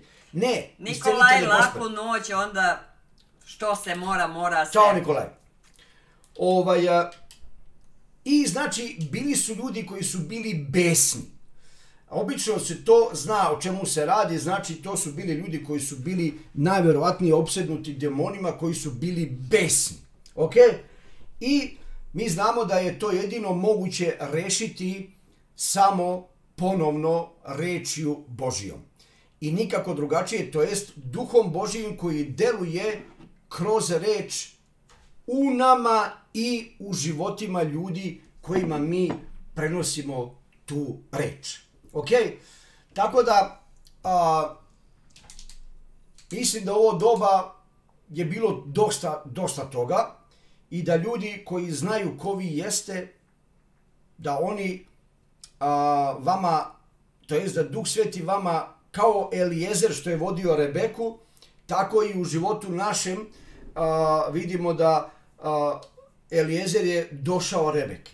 I on je imao sa sobom i Kamile, imao je svoje tamo sluge, verovatno, koji su bili sa njim njegovi pomoćnici. Tako da mi vidimo da gospod radi u životima i ljudi i našem, zato je Pavle pisao budite spremni da date odgovor svakome ko vas pita za vaše spasenje. Dragi moji, laku noć je se odnosilo na Nikolaja, pošto mora da ide na posao i Ljubica je njemu poželela laku noć, a ne da ona odlazi. Lako noć, lako noć, lako noć, lako Samo noć. da Ljudi, znate o čemu se radi, jer ja sam poželela isto Nikolaju laku noć, jer mora na posao. Ljubice iza mene, a vi ste ukapirali. A, Evo, upravo je napisala ovo što sam ja rekla. Taminaris, da. Ovaj, ja ljudi moji, znači, ovaj, interesantno je to da, evo u toj hronologiji, ja upravo malo u zadnje vrijeme ovaj, dosta se onako zadržavam na, ne znam zašto, možda po mom planu čitanja, ali sad sam momentalno, momentalno se nalazim u prvoj Mojsijevoj. I tako Na mi početku. u redu i ovaj interesantno kako je ta knjiga jako divna i kako ovaj tu vidim dosta poruka što se tiče crkve i uznesenja i tako dalje. Nadam se da i vi uživate i da trošite vreme ovaj u zajedništvu sa gospodom i da ne trošite vreme bez veze. Danas je, eto, vidimo da ljudi troše vreme bez veze. Dakle, gospod je, uh, ja uvek, uvek, znači svaki dan kada ustanem, pokušavam i nateram nekad sebe da kažem gospod je tu. Znači, biti kao ono da izazovem neki placebo efekat u sebi, gospod je tu, šta radiš? Znači, sada zamisli ti sebe, gospod je tu, i ti lepo ustaneš i ne znam ja šta ono, bez veze nešto radiš tamo, niti koristi tebi za duhovnu izgradnju, niti koristi za izgradnju crkve, niti da zadobiješ nekoga za gospoda, nego živiš neki svoj život. To svaki dan meni ovaj, eh, ustajem ujutru i naravno gledam da provodim vreme sa gospodom što više mogu zajedno i u razgovoru sa njim, što bi mi rekli molitvi, jer mislim da je to možda i vidljiva stvar kao u primjeru Rebeke, ona je bila odlučna i ona je rekla ona ide sa Elijezerom. Ona je odlučila da ide i napustila je sve. I svoje navike, i svoje običaje, i svoje želje, i svoje, svoju familiju. Čak i njen zadatak. Ona više nije bila vodonoša. Ona je krenula sa Elijezerom, njen život se promenuo, ali zajedništvo, znači interes, što je, ili da kažemo karakter koji je obeležio Izaka i Rebeku, bilo je da su jedan, jedno i drugo brinuli o vodi. I to je jako interesantno, voda znamo da simbolizuje reč Božiju i to je, dragi moji, jako bitno za nas. Crkva Hristova se drži reči i njoj je to i hrana, i voda, i mač, i odel, i sve. Sve je to ovaj, i zato zbog toga u zadnje vreme je velika bitka protiv reči. Da ljudi kažu, ma ne moramo da čitamo Bibliju, onda jedni kažu, ovaj, ja sam pročito, ja znam, onda drugi kažu, pa ne razumem je, ne znam šta Biblija priča, oni bi htjeli odmah, čim je počeo da čita, on je htio odmah da razume Bibliju. Pa jedni kažu, pa ti samo teraš da se čita Biblija, ovamo kažeš sve mi je slobodno, sve mi je oprošteno. Ima i takvih, ali ako si gladan uzmeš da jedeš, tako isto i za Bibliju. E sad, kažem vam, ljudi moji, ovo, ovo što je 24. trebalo da bude, desilo, znači ispalo je da je to Greška. bio lapsus od ovoga političara, mada o, je Da interesantno sad. kako je to baš se potrefilo da je to zadnji dan po jevrejskoj godini. Zadnji dan njihove godine, 5783. Sad treba da bude, da počinje valjda 5784. čini mi se, tako beše? Ili sam ja nešto to pobrkao. Tako da, ovaj, možda bude, možda ne bude, možda je zaista bio samo lapsus, a možda ne. A prošli put mislim da smo govorili o tome da je, ili ja sam to negdje u klipu spomenuo, da su ovi a, Nemci potpisali jedan socijalni, socijalni program na šest meseci. I sad vidimo, evo, rodila se i nova bocka koja će biti ponuđena ljudima, sigurno će da dave hrišćane šest meseci, verovatno. E sad to može biti ulje od smirne i može biti da onda ispada opet po tome da može da se ja desi da to uznesenje čekamo u proleće ili možda u jesen, kako god, ali ako je, ako je u pitanju ovaj slika Estere, a, i ako nju možemo da uzmemo kao primjer za crkvu, onda je bitno da shvatimo i da razumemo a, kakva je to bitka duhovna. Da li, da li nam je bilo teško duhovno, jer šta je, a, šta je teško duhovno? Pa kada te neko proganja zbog vere u gospoda, onda hrišćanima nije teško. Hrišćanima je lako jer zna, evo čitamo apostoli koji su imali duha svetoga, a oni su dobili batina i kaže da su izašli napolje radosni i slavili su gospoda što su se udostojili da za njegovo ime prime batinu. Dakle, vidimo obrnuti efekat.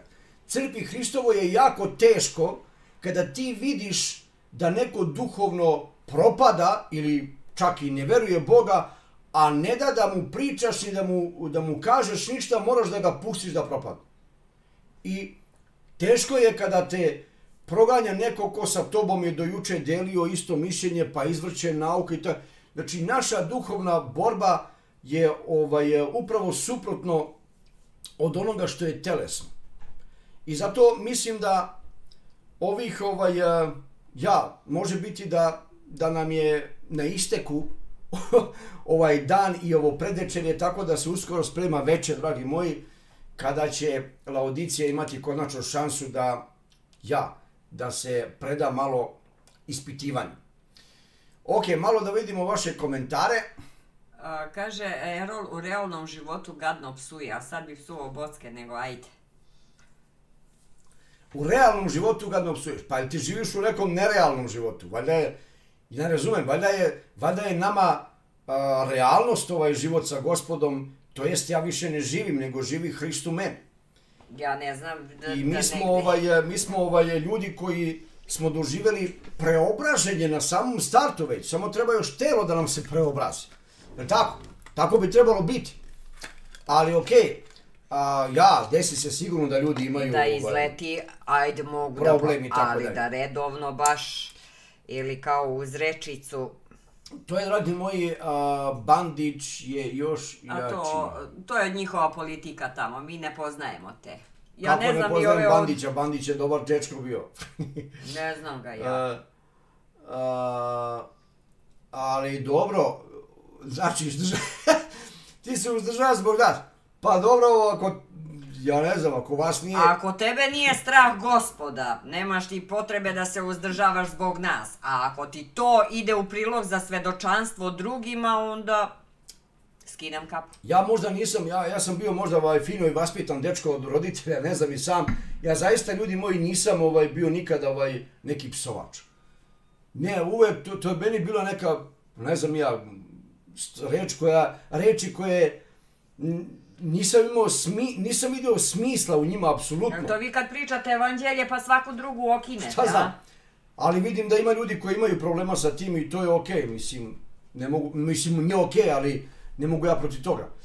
Tru, tre- treba da imamo neki kanal na kojem bi mogli svakodnevno da se uključujemo, a da je kanal otvoren 24 sata. Pa ajde otvorite, vi svi dajete predloge, ajde Možda otvorite. bi trebali. Ako se neko od vas razume u tehnologiju, neko otvori i to je to. Kaže plavi, a, psovke se Balkancima ne računaju. Imaš pravo, zato što samo jevrejima računaju, pošto je na jevrejskom, ali mi pošto pričamo strani jezik, nama se ne računa. Ovo, to je to. A, kad mi neki pravi lice fino, lepo, a, kao... Ja, ja, a, sve je moguće. ne znam, ljudi, ja i... Mislim, ne osuđujem nikog. Ne osuđujem nikoga, ali meni Hrist i psovanje ne idu zajedno. Ne mogu ja nekom pričati evanđelje i onda da okinem domaćinski, pa... Ne, ne znam, ne znam, Ne kažem da ne opsujem i ja i meni izleti sigurno i svakom od vas, ali valjda trebamo da sve ono što nije dobro trebamo odbacivati od sebe i uste, uzdržavati se ili ne znam. Trenirajte se, vežbajte se u pobožnosti. Ne znam, ljudi moji, kako god vi hoćete, ovaj, ne znam, ali ja, praznik truba uskoro počinje, mislim uskoro počinje. Aleksandar Garatović, pozdrav, Danas je, dobro veče. danas je, ovaj, dragi mi pozdrav Aleksandar, danas je valjda početak, jel tako beše, ili ne? znači, 24. počinje, tako, praznik truba i to je to. Znači, idemo u susret jednom velikom prazniku koji donosi jevrejima veliku radost, a po tumačenju nekih donosi i mogući, mogućnost da se nadamo uznesenju. I sada vidjet ćemo po tom pitanju a, koliko su ljudi bili u pravu. Uglavnom mi trebamo biti Spremni uvek. spremni. Ako bude bilo neko gašenje, da znate šta je pali sveću ili kad dođe veče spavaš i završena priča i čekaš. Ovaj, šta će da Hoćemo se li desi. biti budni ili u snu kad dođu Ne znamo, to treba da pričaju ovi koji e, napadaju uznesenje. Kad će da se desi, Jel će u ponoć biti ili u toku dana ili Ili predveče? će biti mrak totalni svugde ili predveče ili, ili u zoru. jako teško, je tako? Opet ima a, sanjara o iznesenju a da, ovi sanjari, vizionari, to je pun internet, koliko sam ja video, pogotovo iz Amerike, ljudi moji. Snovi, koliko je do sad snova bilo kada čujete kakvi su to scenariji bili, pa koji je onda pravi od toga. Ovi kažu ovako će biti, oni kažu onako će biti, na kraju ispade da će svako na svoj način ovaj, doživjeti to, pa onda ćemo se negdje u nebu sastati i pitati ko je bio original. Ja bi Okej. najsretnija bila kad bi posle ovog videa klik otišli gore. Ali interesantno je ovo, i onaj koji je nesiguran, a ima duha svetoga, i onaj koji je siguran, a ima duha svetoga, i jedan i drugi će biti uzneseni. Jel Tako? Znači, bitno je da ti imaš duha svetoga u sebi i on je taj koji te vodi u susret glavi. Sve ostalo, dragi moji, jeste samo priča, raspravka, caka je samo u tome što ljudi Sanela u pravu si. mi, na, mi ovaj, ne želimo da neko ovaj, e, govori nauku gdje će da vežu uznesenje za spasenje. To je već opasna stvar. Tu već moramo da skočimo. Znači, u biti, ceo, ceo naš ovaj vek ili život crkve na zemlji se bavio odbranom vere u Isusa Hrista. Savo, bit ćemo uznešeni u trenuću oka. A dok, ja, dok sam ja sam pročitala ovo, ajde Savo, ustaj stigo gospodar, tu 15 puta trepneš. Jednom trepneš i nemate. A, ni Noleta nisu pustili na UE. A on mi je baš najveća briga. Nije on mene nije pustio dok sam imao Facebook, nije mi odgovorio, ja sam ga dobro iskritikovao, ali nije mi niko odgovorio, nije ni čito možda, ne? Ovaj, bilo bi mu bolje da on počne da veruje u Boga, ovaj, u gospoda Isusa, nego što e, ljubi trav, jede travu i ljubi rekete i bavi se jogom, i to kundalini joga. Katastrofa. A ovamo kaže da je hrišćanin. Bez, Ja. bez komentara. katastrofa. Znači, on, on i, i vera u Isusa, to ti je kao, ne znam nija šta, ko ovi sa ovom čudnom zastavom i gusari. Ista stvar.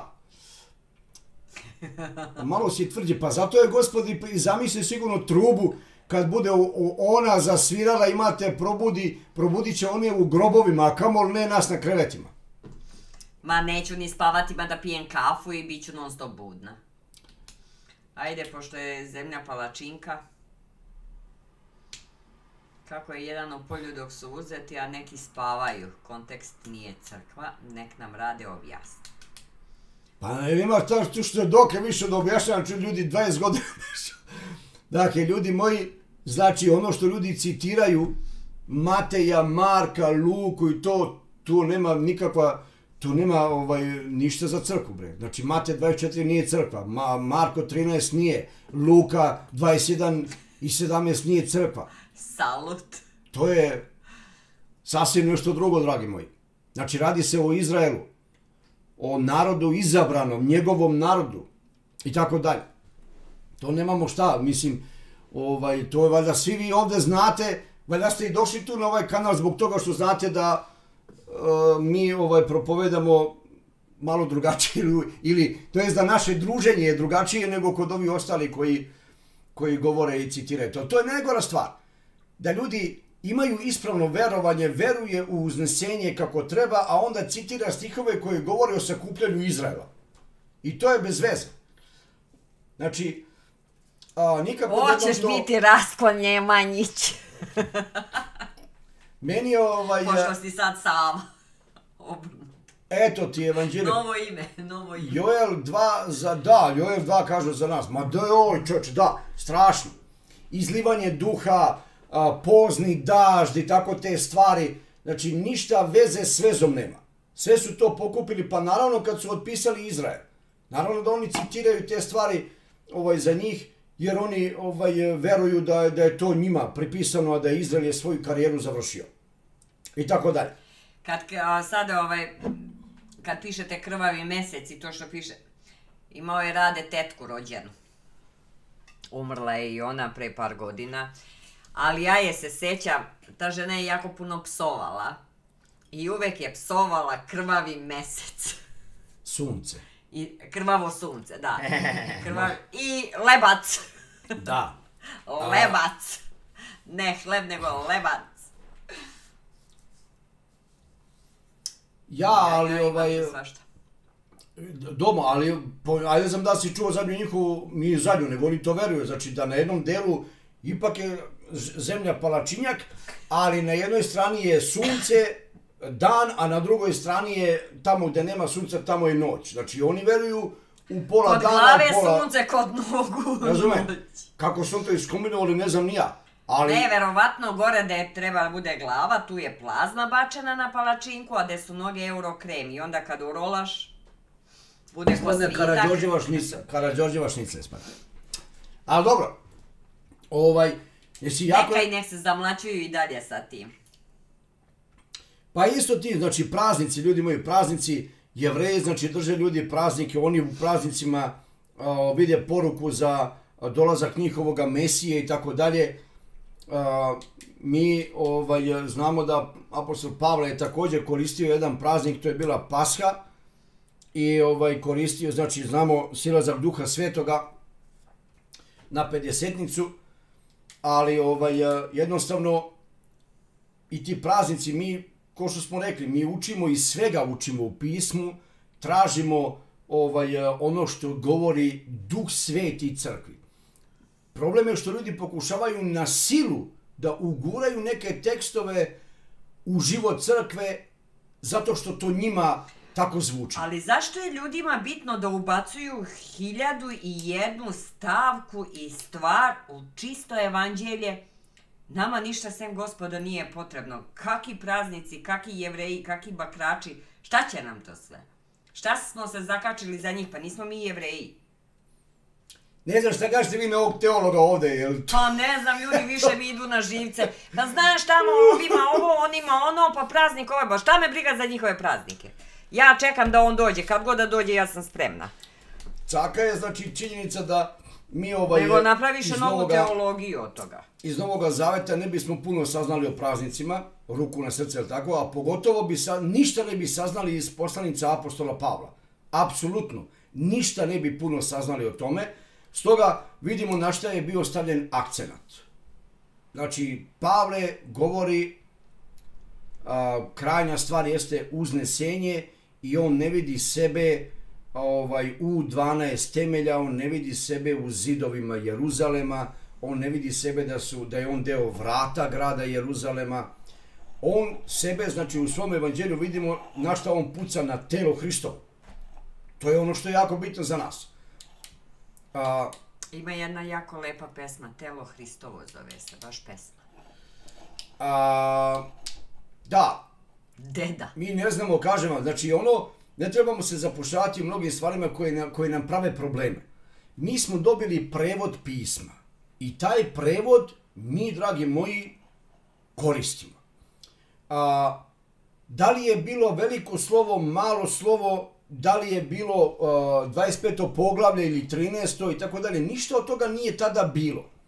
I kada vi uzmete tu knjigu i uh, stavite bez poglavlja, bez ovoga, bez onoga, znači samo vezana slova, ne bismo mi a, puno toga mogli da izvedemo kao što to danas ljudi izvrću ovdje. I onda, to je u zadnje vrijeme ono što ja najviše mrzim, jeste, mrzim, ne volim, a, moram da učim jevrejski, da učim grčki, da učim a, babilonski jezik, da bi razumeo Bibliju. Ako je to merilo da bi ja Bibliju razumeo, onda nam gospod nije trebao dati duha sveta. Sa čim? Da, i, ba, i bave se i datumima, pa jedva popamtila kad sam se udala i kad sam rođena i koliko dece imam kad su im rođene, još da pamtim te njihove datume, nema od toga ništa. Ovaj, ja, zato kažem, čuvajte se takvih teologa i čuvajte se takve nauke. Nema veze ako, je za, na, ako za nas nije puno u Bibliji ostalo, ne, ne vidimo puno stvari. Onda, onda ok, zadovoljimo se sa tim što je malo. Ali Duh Sveti otkriva, znači od prve stranice Biblije do zadnje. Puno je pismo informacija. Ako ti nešto ne razumeš sad, to znači da ti duhovno nisi uzrasto dovoljno da razumeš taj deo pisma. No danas recimo otvoriš Bibliju prve Mojsijevu i čitaš jedan stih i na jednom ti se javi paralele, dve paralele, jedna iz psalama, jedna iz evanđelja po Marku, jer si to našao istu misao u prvoj Mojsijevi. Ali kada kao mlad hrišćanin počneš da čitaš Bibliju, ti ne znaš gdje šta ni, ti ne znaš gdje šta piše čestito. Onda čitaš Bibliju i tako se pamti, onda ti se javljaju paralele same po sebi, a onda dolazi razumevanje pisma. Onda dolazi objave od Boga i objave duha kad on ima materijala da bi mogo da te vodi. Dotle, možeš samo da se gađaš padežima i da učiš jezik, ajde da učimo jevrejski da bi razumeli pismo. Pa ajde učimo. Aj, E. 30 godina sam u Austriji, nisam naučila ispravno nemački. Alex, ja sam pamtila rođendane do 40. Ali sad kako prešla 50. nikako. Zašto moramo znati, Pavle, e, zašto moramo znati Novi Zavet na hebrejskom? Pa, I je to samo šala što si napisao? šala bre. A, znači ja, ovaj, ne, ne, ne bavim kažem, iz početka mi je bilo to jako interesantno, ovaj, jer sam vidio kako ljudi rade, uči E, plavi jevrejski. i ja znam sam kad mi je plate i to je to. uči jevrejski, pa uči grčki, pa uči ovo, pa uči ono, pa ljudi moji, rekao onda najbolje bilo da se ponovo rodim i da me mama rodi u Grčkoj. I da mi materni jezik bude grčki, a onda kad čuješ da hrišćani grčki se mole ikonama, veruju ikone, da veruju u subotu, veruju u deset zapovesti, čekaj onda, pa to veruju i ovi naši ovdje bez grčkog. Znači nije caka i poenta da ti znaš jezik da bi razumeo pismo. Jer, kako kaže Pavle, da su jevreji razumeli pismo, iako je to njihov materni jezik, pa ne bi gospoda slave razapeli. Znači, toliko o pismu i toliko o jeziku. Imamo sve original, a onda uzmemo kamen i bacimo na gospoda, još najgore zakujemo ga na krst. Jer smo mi razumeli pismo.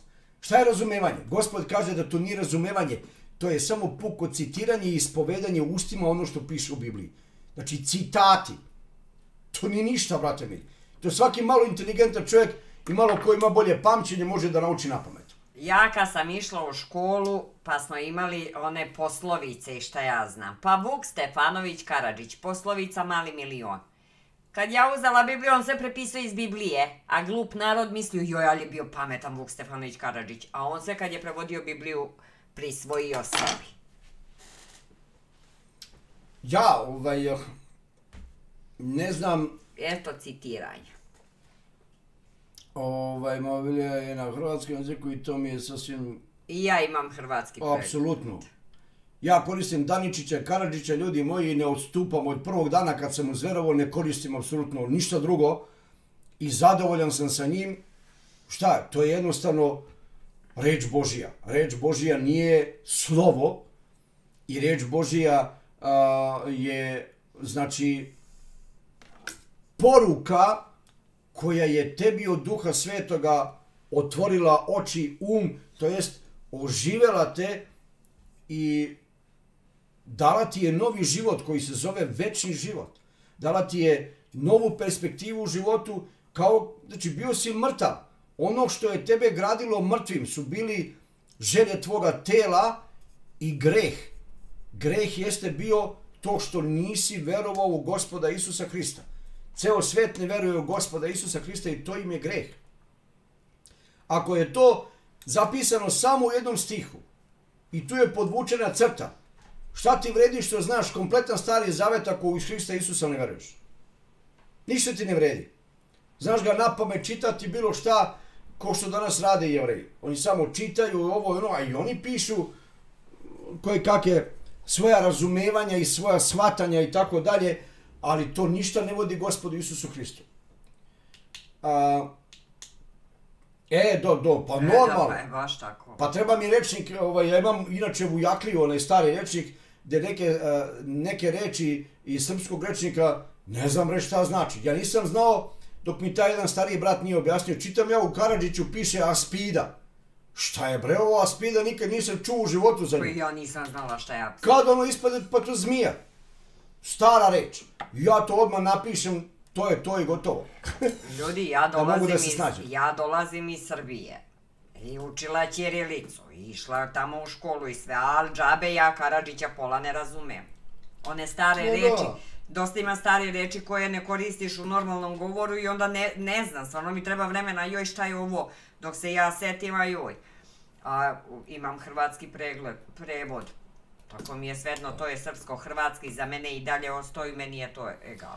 Jedan, jedan ovaj, ovaj, iskusan čovjek po pitanju, ajde kažemo, ovaj, a, poznavanja pisma, a, jednom je imao debatu sa nekim ljudima i kažu isto tako ovo, žalili se, joj, ne znam, ovaj prevod nije nešto dobar, moramo naći bolji, ovi prevodi su a, ovaj, izvrnuti, izbačeno, ubačeno, i on sad kaže, pa šta ti, jel ti smeta knjiga proroka Jeremije, jel nije dobro provedena? Da, pa izbaci je napolje, kažu. Nemoj čitati. Onda on kaže, ja, ali tamo u knjizi letopisa ili dnevnika isto piše ovo nešto nije dobro prevedeno, pa nemoj čitati ni nju. I na kraju ovaj njemu kaže, nemoj čitati ovo, nemoj, kaže on, pa kako nemoj čitati, kaže, to je, kaže, to je, kaže, ovaj, reč Božje, eto, kaže, to je Bog rekao da čitamo.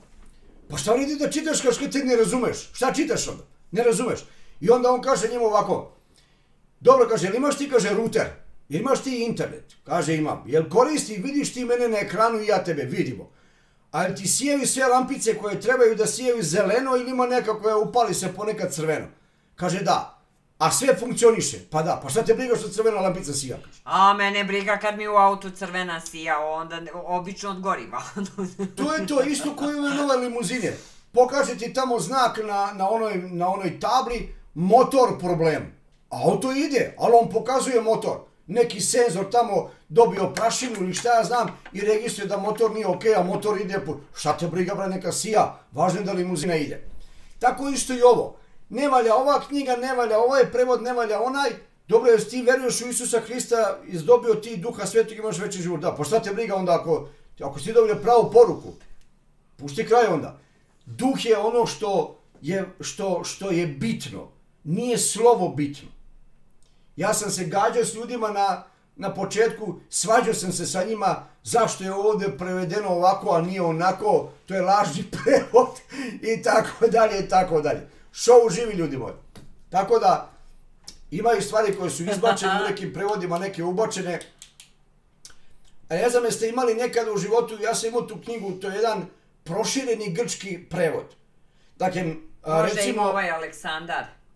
Recimo reč agape i sada kako bi mi mogli da je prevedemo na naš jezik. I sad svi mogući prevodi reči agape na našem jeziku što je u zagradi.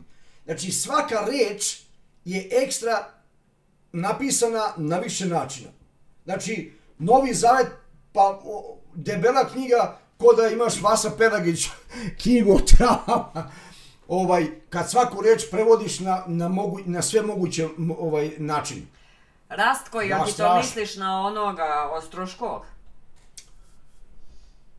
Ali za neke stvari povedam i druge prevode, da.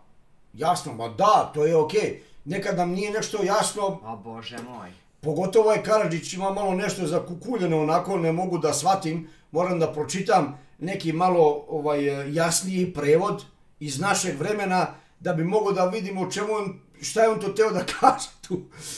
Pogotovo što ovaj eh, Karadžić, mislim da on to u Austriji ovdje valjda odradio i dosta se primećuje taj nemački a, nemački ovaj naglasak, jer tamo imaš negdje se ponavljaju reči u tom smislu ja imam, nemam, ne kao kod Nemaca.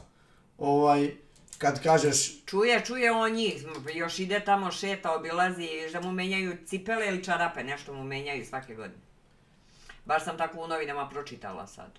A onaj crnogorski što se upokojio ostavio tekst u kojem govori vernicima da mu se mole i da dolaze na njegov grob i da mu ispovedaju. Postroški. A, to je djedo. Jel to ovaj djedo što su mu viđali likove i na drvetu kad je pao snijeg? Ovaj skoro što je očepio. Pa su rekli da mu dolaze na grob da se mole i tako dalje. Da, čudno. Tamo on, A samo molerišem nek mu se na leđa. Džak ima, znači, ne znam ljudi moji, ima, ovo, ali nije mislim da se ne trebate E, oko jeste, toga jeste, pekat puno. jeste, ljube, taj, taj. Nemojte se zamajavati puno oko tih prevoda i da li je ovaj... Savo, Bitno je da nađete vama prevod koji vam je razumljiv. Eto. Savo, setila sam se kako će te gospod pozvati. Nećete ni Rastka ni Rastko zvat, nego Nemanjiću. A, katolički kršćanski... Amfilohije. Ja ne znam ni ko je koji... Može biti da se zove tako tip urina, nemam pojma, valja nešto. A, znate šta, ja sam ovaj, znate tog čovjeka, ja sam ga pitao, rekao sam vama, on je inače ovaj rabin jevrejski, a inače je profesor jevrejske književnosti. Znači čovjek koji dobro poznaje književnost i ja sam baš upravo njega htio pitati koji je prevod staroga zaveta, naj, pošto on ne veruje u novi zavet. Ja imam Dudu Fućak. Koji je prevod staroga zaveta najbolji i on je jednostavno rekao odvojeno od svih, od svih prevoda odvojio je Daničića. I rekao je Daničić je najbliži originalu jevrejskog A to starog ovaj... zaveta. Rab- Meni je naravno bilo drago. Zato što ti čitaš. A onda sam saznao da je taj, da je Daničić, da i Daničić jeste poreklom jevrej. Onda rekao, nije ni čudo što on to tako dobro, ali kaže pa da svako svog hvali. ima on svoje, ima on svoje stvari, on inače kad ima predavanje, on čita, ovaj, on koristi naš prevod Daničić i uspoređuje sa jevrejskim starim zavetom i onda on tamo kaže jednostavno, aha, ok, stop, ovdje, ovdje Daničić nije dobro preveo. Znači treba da se prevede ovako i onako i ovaj, sad bi on kaže imena koja je Daničić tamo upisivao u starom zavetu, on bi to trebao, bolje bi bilo kaže da je upisivao prevode. Pa recimo znači sit ili šet znači temelj. I kaže bolje bi bilo da je upisao temeljko. Znači ne zove se on nama, nije našem jeziku, a, nije naše ime šet. Nego je, nego je značenje tog imena nama bitno i trebali su da upišu značenje, prevode tih imena. I to bi bilo super. Kao onaj, onaj što je pisao knjigu Put kršćanina. Tako On im je tako imena davao. Tako nešto. Znači Isus bi bio spasitelj. Eto, njegovo ime bi bio spasitelj, ovaj, onda bi svi, onda bi, kada bi, kada bi se zaista ime Isus pisalo samo spasitelj, onda bi se ljudi morali pitati ko je taj koga mi verujemo. A, znači, ne postoje dva spasitelja, samo jedan spasitelj postoji. Kada bi te prevode imena upisali, ja sam čak mislio s jednim bratom razgovarao ovdje da napravimo mi Bibliju, gdje ćemo imena prevesti kako se koje, šta znači i to staviti u zagradi pored a, tog imena u starom zavetu, tako da ljudi znaju o čemu se radi. I naravno i u novom zavetu. Pavle bi bio mali, ne bi bio Pavle, nego mali i tako dalje. Mazoretskih spisa od Tudaja je preveden i King James i Vrtarić. Moguće. Nema ja pojma, ono, ne, to sve štima je okej, ali kažem ti da ovaj čovjek, znači ja sam, on je profesor književnosti jevrejske i predaje na fakultetu u Izraelu i plus je rabin. I ja sam ga pitao, šta ti kažeš o tome koji je prevod, znači kad ti čitaš tvoj jevrejski zavet i usporediš sa prevodima, on kaže da je najbliži originalu Daničić. Ja sam mislio da je Bakotić jedno vrijeme, pošto su neki a, profesori na teološkim fakultetima ili biblijskim školama ovdje u Austriji predavali, pa su jedno vrijeme podjela među njima bila, neki su hvalili Bakotića, da je bio, kaže, jako dobar prevod. Ovaj, e, I zaista u nekim delovima, kao što su psalmi, priče Solomunove, zaista Daničić i, Bakotić imaju ono malo, malo odstupanja baš onako.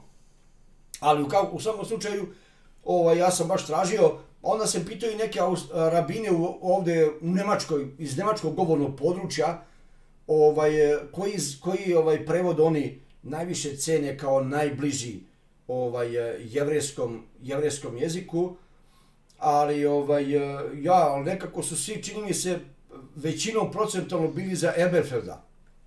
Eberfelda prevod je bio po njima najbliži nekom originalu.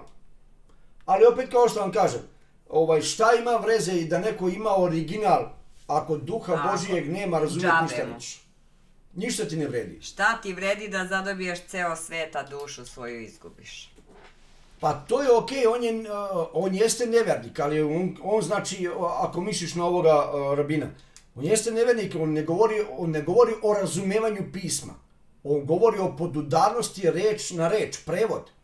I o tom ovom kaže da je a, da je a, Daničić znači ne, najbliži originalu. Što se tiče reči, bukvalnosti u prevodu. on Pogotovo znači- Mojsijeve knjige i to. Tora da, pogotovo i to. I on je tu jako rigorozan, toga. jako rigor, rigorozan, čak neke Za nas nije. čak za neke reči kaže da je u pitanju ovaj, da Kao teško bi našao danas, teško bi danas našao pravu reč, recimo kao za reč vera. To što mi verujemo da i koristimo reč vera danas je mnogo, mnogo odvojila od one reči, jevrejske reči vera koju oni koriste. To je ta reč jevrejska vera, ne znam u koliko područja života može da se koristi. Tako da ti bukvalno malte ne možeš biti jevrej da bi mogo, rođen jevrej da bi mogo neke stvari da ovaj, baš onda ti govori srcu onako, ne? Ovaj, Marcel, laku noć doko... ali okej. A, kao što kaže, Miroljub kaže, Isus nije nikakav Isus Nazarečanin, on je Ješ, Jehošua kaže, haj dobro, a ti meni, a ti Nemaš nemaš, ispravno evanđelje. bajo moje, a pa me, da, pa Baš i ovi tako. što danas govore, te ja, kaže se Jahošua, ovi kažu Jahua, a ovi viču Ješ, i tako dalje, i tako dalje. Dakle, plus toga Miroljub kaže da Isus na zemlji nije bio Bog.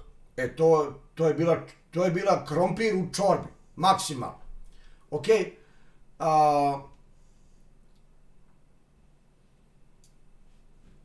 pa on to domo, on je jako otvoren čovjek po tom pitanju. I on kaže da, on zna da se to u sinagogama, kaže, ne čita, ali kaže, on ne zna zašto, kaže, ne vidim apsolutno razloga. On je čak čovjek onako malo liberalniji, on kaže da on, on recimo čak ne vjeruje da postoji đavo. Ali njegove kolege rabini koji propovedaju tamo po sinagogama govori da postoji đavo, a on veruje da je to imaginacija zla u čovjeku. Čak ne vjeruje ni da je ono za šest dana stvoren I svijet. da je to prva Mojsijeva prva glava, prve, ona, prva tri dana, da to nisu bukvalno tri dana, nego da je u pitanju veći period.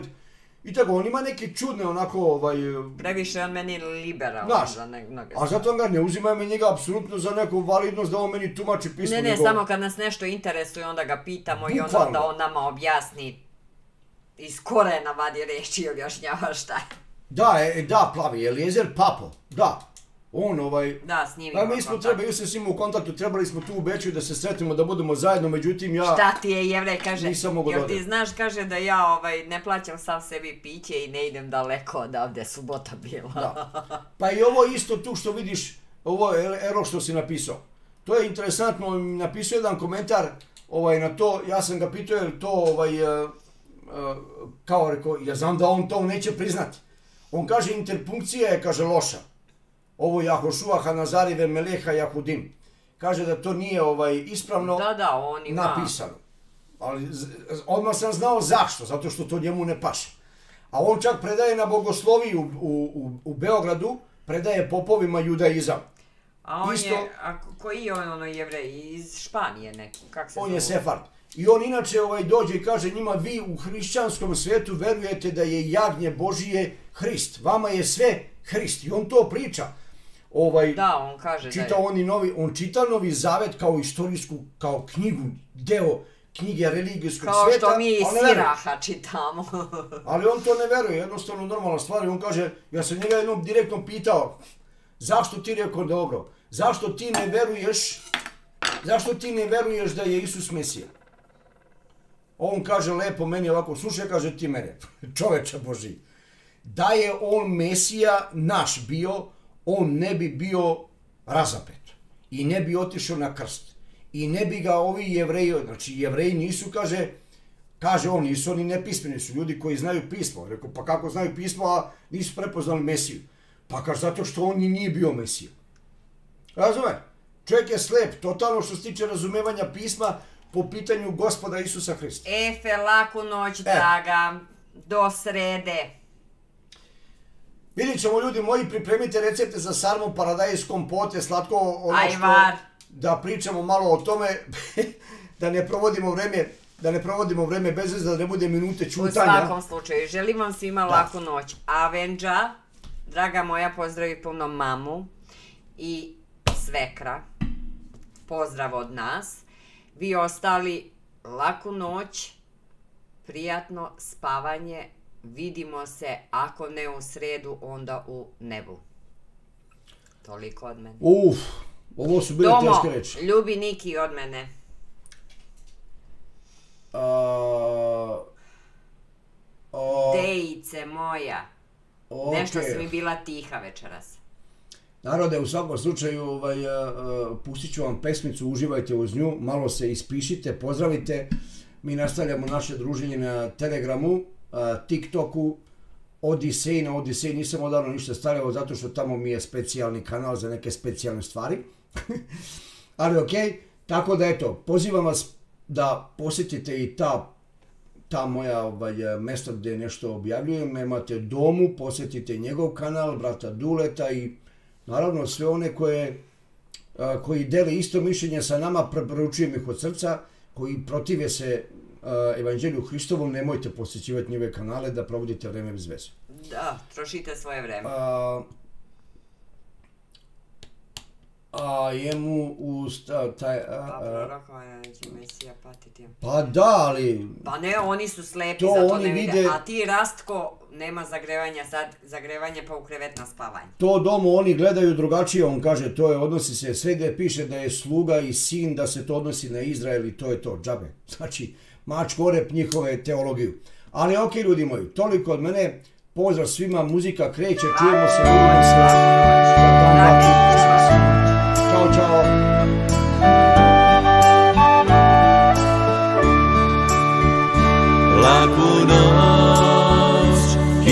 Isuse,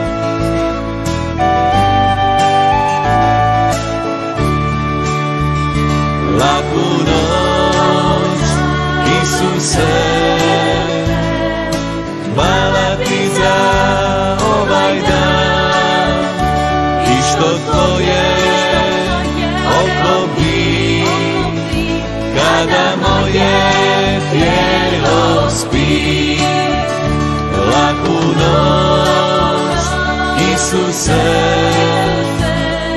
Sutra ću ti opet doć, jer sa tobom i u tebi uvijek ima mir u sebi. Laku noć, Isuse, želim s tobom